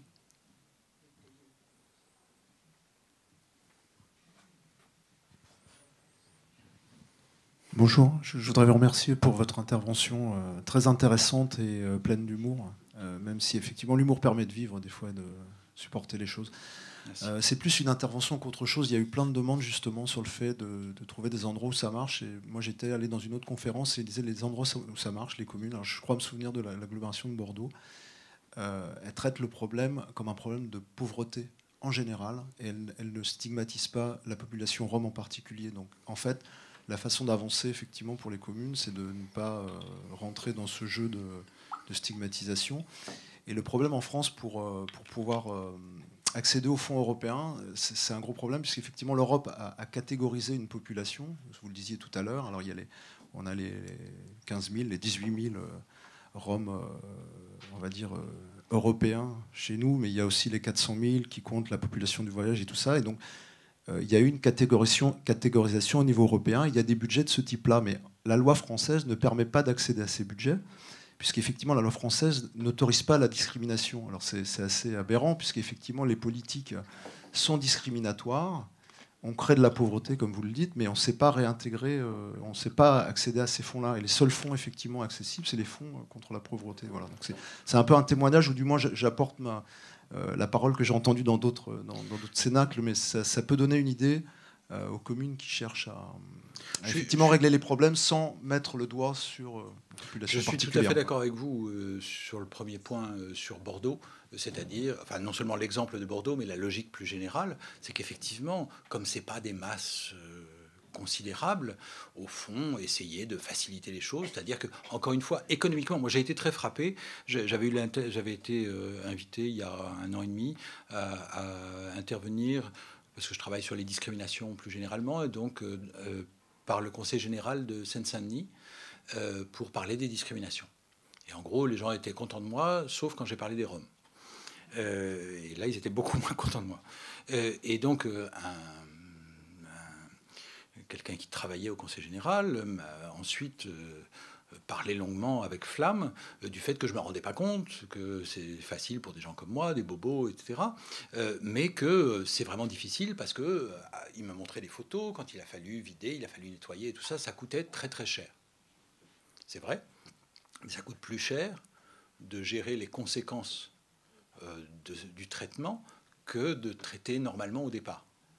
Donc ramasser les poubelles tous les jours est moins cher que de nettoyer quand on a laissé euh, s'accumuler les choses. Voilà. Donc ce qui est intéressant, c'est vraiment cette question de rationalité économique. Alors pour les fonds européens, comme vous le disiez bien, euh, donc euh, nous ne sommes pas en désaccord, hein, mais théoriquement c'est compliqué, mais manifestement on n'a pas beaucoup de problèmes pour traiter euh, les Roms, y compris dans des circulaires, y compris dans des textes dans les commissariats, etc. Donc comment se fait-il que là on dit ah, on est bloqué vraiment Non, c'est parce qu'on n'utilise pas de catégorie comme les Roms. Donc je, n'en crois pas un mot. C'est ce qu'on entend dire. Non, non, mais je sais bien. Mais je voudrais dire, je, ne suis pas en train de gérer ces choses-là, donc je ne peux. mais je n'en crois pas un mot. C'est-à-dire que manifestement s'il y avait une volonté pour récupérer cet argent, il y aurait des moyens indirects. Donc, si on arrive à les chasser en tant que Roms, on doit pouvoir récupérer l'argent pour les Roms. Je, n'ai pas la compétence pour le vérifier, mais quand même, je pense qu'il y a une question de, de sens commun aussi.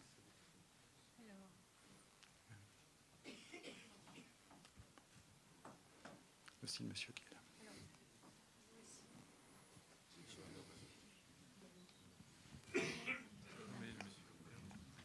Euh, à propos des fonds européens, il y a un exemple qui vient d'être mis en œuvre euh, à Ivry avec une avance du Conseil général qui va utiliser des fonds européens pour réaménager une ancienne gendarmerie pour développer des locaux pour des Roms. Et ça vient d'être réalisé. Donc utilisation de fonds européens, c'est possible. Oui, tout à fait. Enfin, j'ajouterais aussi parce que je voudrais, enfin, je, m'en voudrais de trop caricaturer. Euh, il y a des. Enfin, j'ai donné beaucoup d'exemples de gens qui se comportent mal, pour le dire euh, très simplement. Euh, tous les agents de l'État ne se comportent pas mal. Moi, j'étais très frappé, par exemple, quand on est allé euh, parler du livre à Marseille. Enfin, la préfète à l'égalité des chances, en plus, c'est quelqu'un que j'ai connu étudiante, qui, enfin, tout le monde en disait du bien, en disant qu'elle gérait les choses, voilà, avec, de manière correcte. Donc, euh, ça veut dire aussi que l'État, c'est pas une abstraction, euh, c'est des gens. Et donc, il y a une latitude. Euh, tous les agents de l'État ne se comportent pas de la même manière.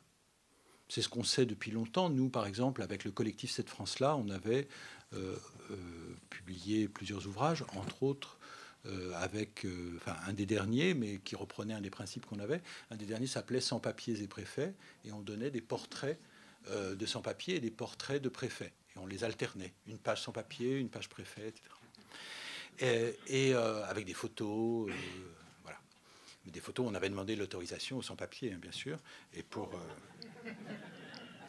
Le, mais donc, on, racontait, en fait, on disait voilà ce que font les gens. et ça ne veut pas dire que tous les préfets se comportaient mal. ça veut dire qu'il y a une latitude qu'ils utilisent ou qu'ils n'utilisent pas. Il est vrai aussi, comme nous le signalions, alors là je suis très frappé que ce ne soit pas un sujet de discussion publique plus important, qu'il y avait des primes au mérite très importantes qui ont été établies par Nicolas Sarkozy pour les préfets. Et on aimerait savoir si, euh, dans les critères de mérite, par exemple, il y a le nombre d'expulsions ou des choses comme ça. C'est-à-dire, est-ce qu'il y a un intéressement, comme on avait pu le voir par exemple, pour euh, certains policiers qui euh, bénéficiaient des miles pour avoir accompagné des expulsions On aimerait savoir ce qu'il en est, me semble-t-il, puisqu'il s'agit de fonds publics je suis très surpris qu'en France, il y ait si peu de contrôle euh, de. Enfin, moi, je ne sais pas si j'obtiens, je suis universitaire, si j'obtiens une prime qui est 20 euh, fois moins importante, je crois que c'est une information publique. Donc j'aimerais bien que ces informations soient davantage publiques et que nos élus euh, demandent à en savoir plus sur, enfin, pour faire des statistiques, par exemple. Vous imaginez un bonheur de sociologue établir une corrélation entre le nombre d'expulsions et le montant des primes. il faudrait avoir les données. Ah bah alors je suis très... Donnez-lui un micro, je vous en prie. Non, non, c'est quelque chose de personnel, mais je connais un, préfet qui m'a dit personnellement que ça existait, qu'il a vu fonctionner cela. Les statistiques? Euh, C'est-à-dire, euh, des, il est plus, plus payé. Ah bah oui il est plus payé s'il y a un chiffre qui peut avancer. Et si ce chiffre n'est pas au niveau qu'on espère, il peut être maltraité. Bien sûr. Alors ça prend des formes euh, différentes. Moi, je voulais vous demander, il y a un chiffre que je ne trouve pas. Euh, c'est le coût des expulsions ou des de reconduites à la frontière. Ça, c'est un chiffre qui est vraiment euh, caché, si j'ose dire. Écoutez, non, il n'est pas caché. coûter très cher, je crois. Il n'est pas caché. Euh, il, mais enfin, et ça coûte très cher, d'abord. J'ai oublié les chiffres, mais il y a aussi des calculs différents. Euh, dans cette France-là, on avait consacré une page à cette question. c'était deux, on avait publié quatre livres, dont d'abord deux très gros livres, et on avait consacré une page en évaluant, en s'appuyant sur des données existantes et tout ça. Euh, et c'était intéressant parce que c'était la seule page qui avait intéressé, par exemple, le Parisien, euh, qui trouvait vraiment que ça coûtait cher, les expulsions. Euh, et, donc, mais je ne me souviens plus du chiffre et je ne veux pas dire de bêtises. Mais aussi, je dirais qu'il y a différentes manières de calculer, comme toujours. Mais en tout cas, c'est très cher. Hmm. La rentabilité économique des expulsions, non. Hmm. Enfin, franchement, c'est une, enfin, c'est pas rentable pour l'État d'expulser les gens y compris, enfin on voit bien, parce que ça, enfin, sans même parler d'économie, euh, il y a bien sûr la question économique, mais il y a aussi le temps euh, de travail des policiers que ça prend, par exemple. Est-ce qu'on a vraiment envie que la police française consacre une grosse partie de son temps à ces questions? Ou est-ce qu'on se dit ce serait bien que la police fasse autre chose, par exemple? Donc, enfin, c'est des exemples comme ça. Il y a la partie économique, mais il y a aussi euh, non seulement ce que ça coûte, mais ce que ça accapare comme euh, énergie de l'État. Donc, enfin, pour, ce qui concerne là non plus la politique à l'égard des Roms, hein, mais pour euh, ce qui concerne la politique d'immigration, on avait essayé euh, dans cette France-là, et tout le premier volume est disponible gratuitement en ligne si vous cherchez. Donc, vous avez tous les éléments disponibles, et on avait un certain nombre de choses pour essayer d'expliquer combien la politique d'immigration, là je ne suis plus en train de parler de la politique à l'égard des Roms, hein, mais de la politique d'immigration, était irrationnelle à tous égards. C'est-à-dire que par exemple, vous avez euh, des rapports de l'OCDE qui expliquent qu'il faudrait plus d'immigration.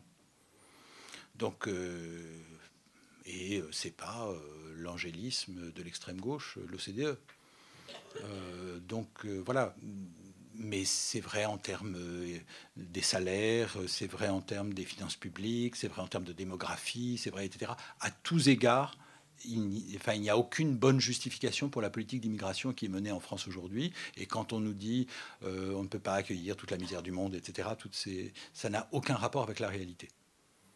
Donc je ne le, je le, développe pas, hein, mais je vous renvoie, si vous voulez. C'est le prix des fantasmes politiques. Oui, oui, Parce que c'est une construction des représentations mentales qu'on fait et donc, ça n'a pas de prix lorsque le politique s'accroche à l'émotif et au passionnel.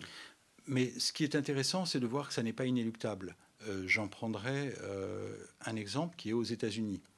Euh, aux États-Unis, en fait, si vous comparez la politique d'immigration en France et aux États-Unis, et plus largement en Europe et aux États-Unis, on s'aperçoit qu'aux États-Unis, c'est une politique qui fait l'objet de discussions. C'est-à-dire, il y a un camp qui va dire il faut faire ça, et il y a un autre camp en face qui faut dire il faut faire autre chose. On en pense ce qu'on veut, et les États-Unis ne sont pas toujours euh, un modèle à suivre, bien entendu. Mais ce qui est intéressant, c'est que c'est une question qui est perçue comme une question politique, c'est-à-dire avec des choix. Donc, par exemple, là, euh, Barack Obama envisage de régulariser tout un paquet de sans-papiers. Et aux États-Unis, quand on dit un paquet de sans-papiers, c'est beaucoup plus euh, qu'en France. Euh, enfin, Obama en a expulsé pas mal pendant son premier mandat. Avant, il y avait à peu près 12 millions de sans-papiers aux États-Unis. ça a baissé de plus d'un million. Donc 11 millions, mais quand même 11 millions, c'est beaucoup plus que les 300-400 000 en France, même rapporté au fait que la population est 5 ou 6 fois plus importante. Euh, donc, si vous voulez, ce serait un rapport de, euh, allez, on va dire 1 euh, à 6, une fois qu'on a tout ramené à des proportions comparables. Donc, ce qui est très frappant, c'est qu'aujourd'hui, en France, cette question ne soit pas une question politique, ou plus exactement qu'elle n'est pas présentée comme une question politique, c'est-à-dire où on peut choisir A ou B. Pourtant, on nous dit qu'il faudrait faire des économies. Oui, mais manifestement, et pas seulement dans ce domaine. Euh, la logique mise en avant n'est pas la logique réelle.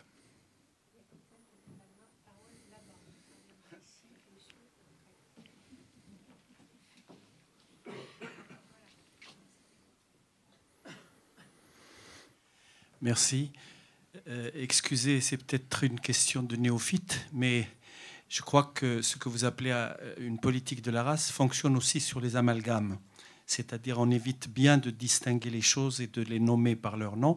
Pour preuve, l'amalgame qui est fait, par exemple, entre Rome, gens du voyage, euh, tziganes, gitans, etc. Et on assimile tout ce monde-là dans la même catégorie de Rome. Justement, est-ce que, enfin, moi je pense que c'est pour maintenir la confusion, mais je voudrais vous demander, est-ce que les politiques qui sont faites dans la réalité à l'égard de ces catégories-là, est-ce qu'elles sont différentes ou est-ce que euh, ça fonctionne aussi à l'amalgame? Merci.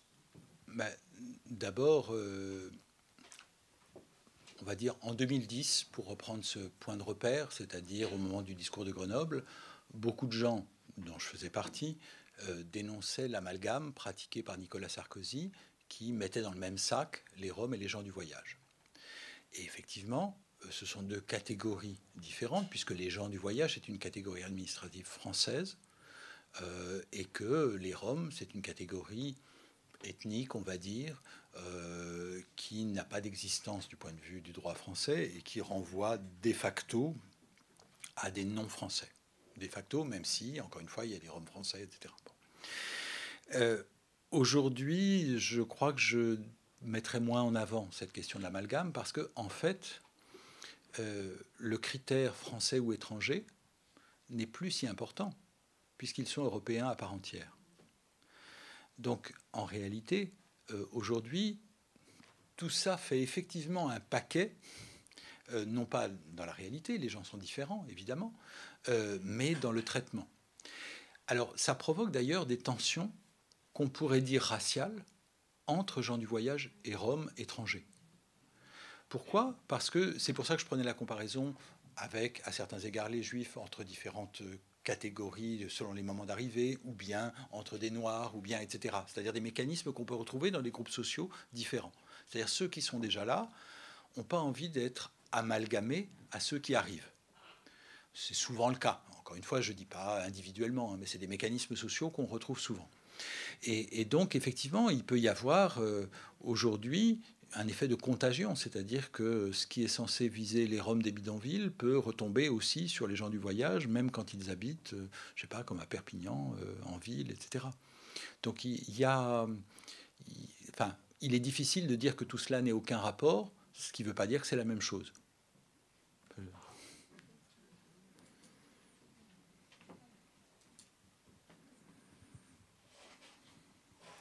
Oui, c'est un petit peu sur le, même sujet. Je crois que c'est une erreur de, laisser croire que Rome, c'est uniquement Rome de Bulgarie et, de Hongrie. Rome, je crois que depuis 1971, il y a eu un congrès international où ils ont décidé de tous se nommer Rome parce qu'ils n'aiment pas euh, certains euh, termes comme euh, tzigane, etc.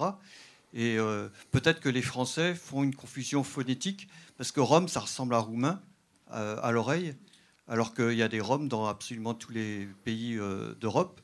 Et je trouve assez idiot qu'en France, l'administration ait inventé, je crois que c'était en 1972, l'expression gens du voyage, alors que la, plupart euh, sont sédentaires.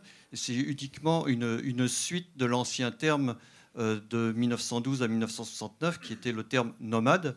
Euh, et, l'administration française veut absolument que dans l'imaginaire, il y ait toujours cette notion de, gens qui bougent, donc gens du voyage, alors que la, quasi-totalité, et dans toute l'Europe, sont sédentaires. je crois que c'est un petit peu dangereux. Et je remarque que tout récemment, pour diaboliser une catégorie de gens qui bougent, qui sont des jeunes écolos, qui sont sur des lieux de manifestation comme Notre-Dame-des-Landes, Roibon, euh, euh, le, barrage du Testé, etc. Il y a des gens qui ont dit Ah, mais vous vous rendez compte, ces zadistes, en plus, on les voit partout, ils bougent, ils nomadisent, ils vont d'un lieu à un autre.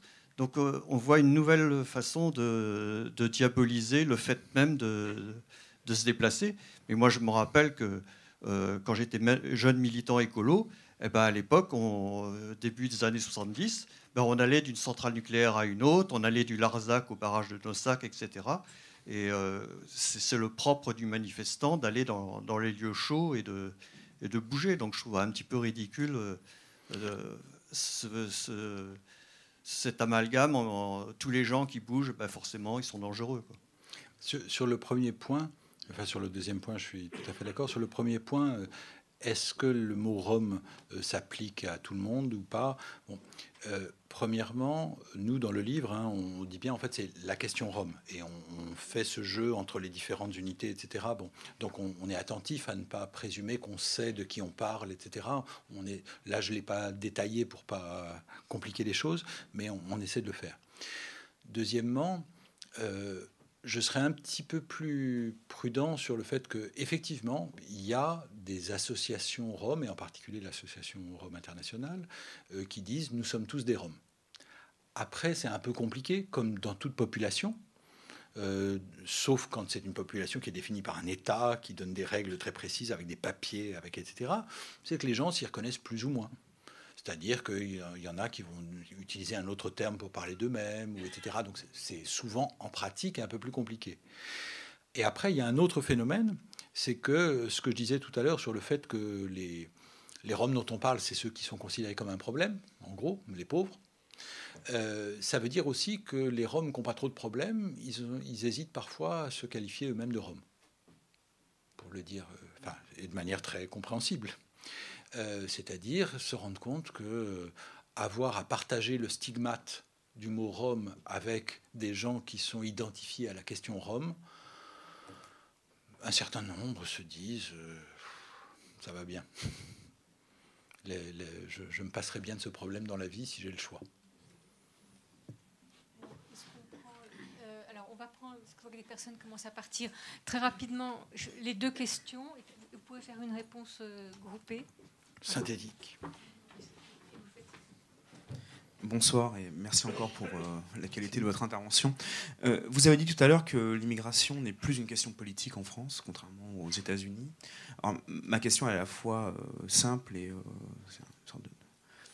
boîte de Pandore. Comment on peut aujourd'hui euh, repolitiser cette question euh, de l'immigration euh, sur, quel levier, sur quel levier appuyer, si tant est qu'il existe encore des leviers On a l'impression qu'il y a une sorte d'usure, y compris des militants voilà, les plus convaincus, notamment à mesure voilà, des politiques menées. bref, quels seraient les contours aujourd'hui d'une riposte face à ce qui apparaît de plus en plus comme une vérité révélée, c'est-à-dire il y a trop d'immigrés, les Roms on n'en peut plus, etc. etc.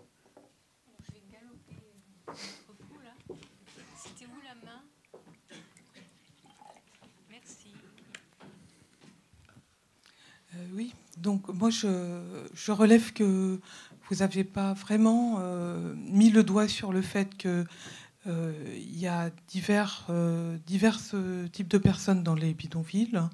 Il y a des gens qu'on peut qualifier de tiganes, gitans, dans les bidonvilles, qui viennent effectivement de Roumanie ou d'ailleurs, de Bulgarie ou je ne sais pas de où. Et puis il y a des gens qui parlent le roumain, qui sont pas euh, qui sont des Roumains pauvres ou des Bulgares pauvres. Et donc, parmi, dans, tous ces gens-là, je pense qu'il y a une volonté euh, qu'on ne reconnaît pas assez de s'adapter à la situation actuelle de l'Europe, qui veut dire que euh, dans ces pays de l'Est, la, vie est extrêmement difficile quand on est en bas de l'échelle sociale et qu'on trouvera forcément mieux en France, qu'ils sont capables de faire cette démarche de l'immigration, qui est quelque chose d'extrêmement important quand on capable de faire une démarche d'immigration, euh, c'est qu'on est quelqu'un d'extrêmement euh, volontaire et, courageux, euh, et, qu'en plus, ils sont capables de s'adapter à la situation actuelle de l'Europe, c'est-à-dire que la, la, circulation est ouverte, et moi j'en connais beaucoup, qui vont passer soit l'été, soit l'hiver, soit les mois qui suivent leur expulsion dans leur pays d'origine, dans leur euh, village d'origine, parce que là-bas, il y a tout de même, à un certain moment, un petit peu d'emploi, un petit peu de cueillette à faire, et, que, et que la vie s'organise, et que ces gens-là, ils s'adaptent au monde dans lequel on est, et que c'est dommage qu'on le leur reproche. Je suis tout à fait d'accord avec ce que vous dites. Et effectivement, je ne suis pas entré dans le détail de ce que vous disiez au début, mais c'est important, et on le dit dans le livre, hein, c'est qu'en en fait, euh, justement, j'ai utilisé à plusieurs reprises, je crois, l'expression mettre dans le même sac. Euh, et c'est un peu ce que je veux dire, c'est-à-dire que si on regarde la réalité, c'est plus compliqué. Euh, j'avais trouvé intéressant, par exemple, de me rendre compte qu'en Italie, dans certains bidonvilles, Rome, il y a des Noirs, par exemple. ce qui veut bien dire qu'en fait, c'est un ensemble de gens, dont pas mal sont roms, euh, et d'autres pauvres qui se retrouvent là par un ensemble de circonstances, etc. Donc c'est tout à fait, enfin, je suis tout à fait d'accord avec ce que vous avez dit. Sur la question de que faire euh, pour euh, repolitiser cette question, à la fois la question de l'immigration en général et peut-être la question rome en particulier.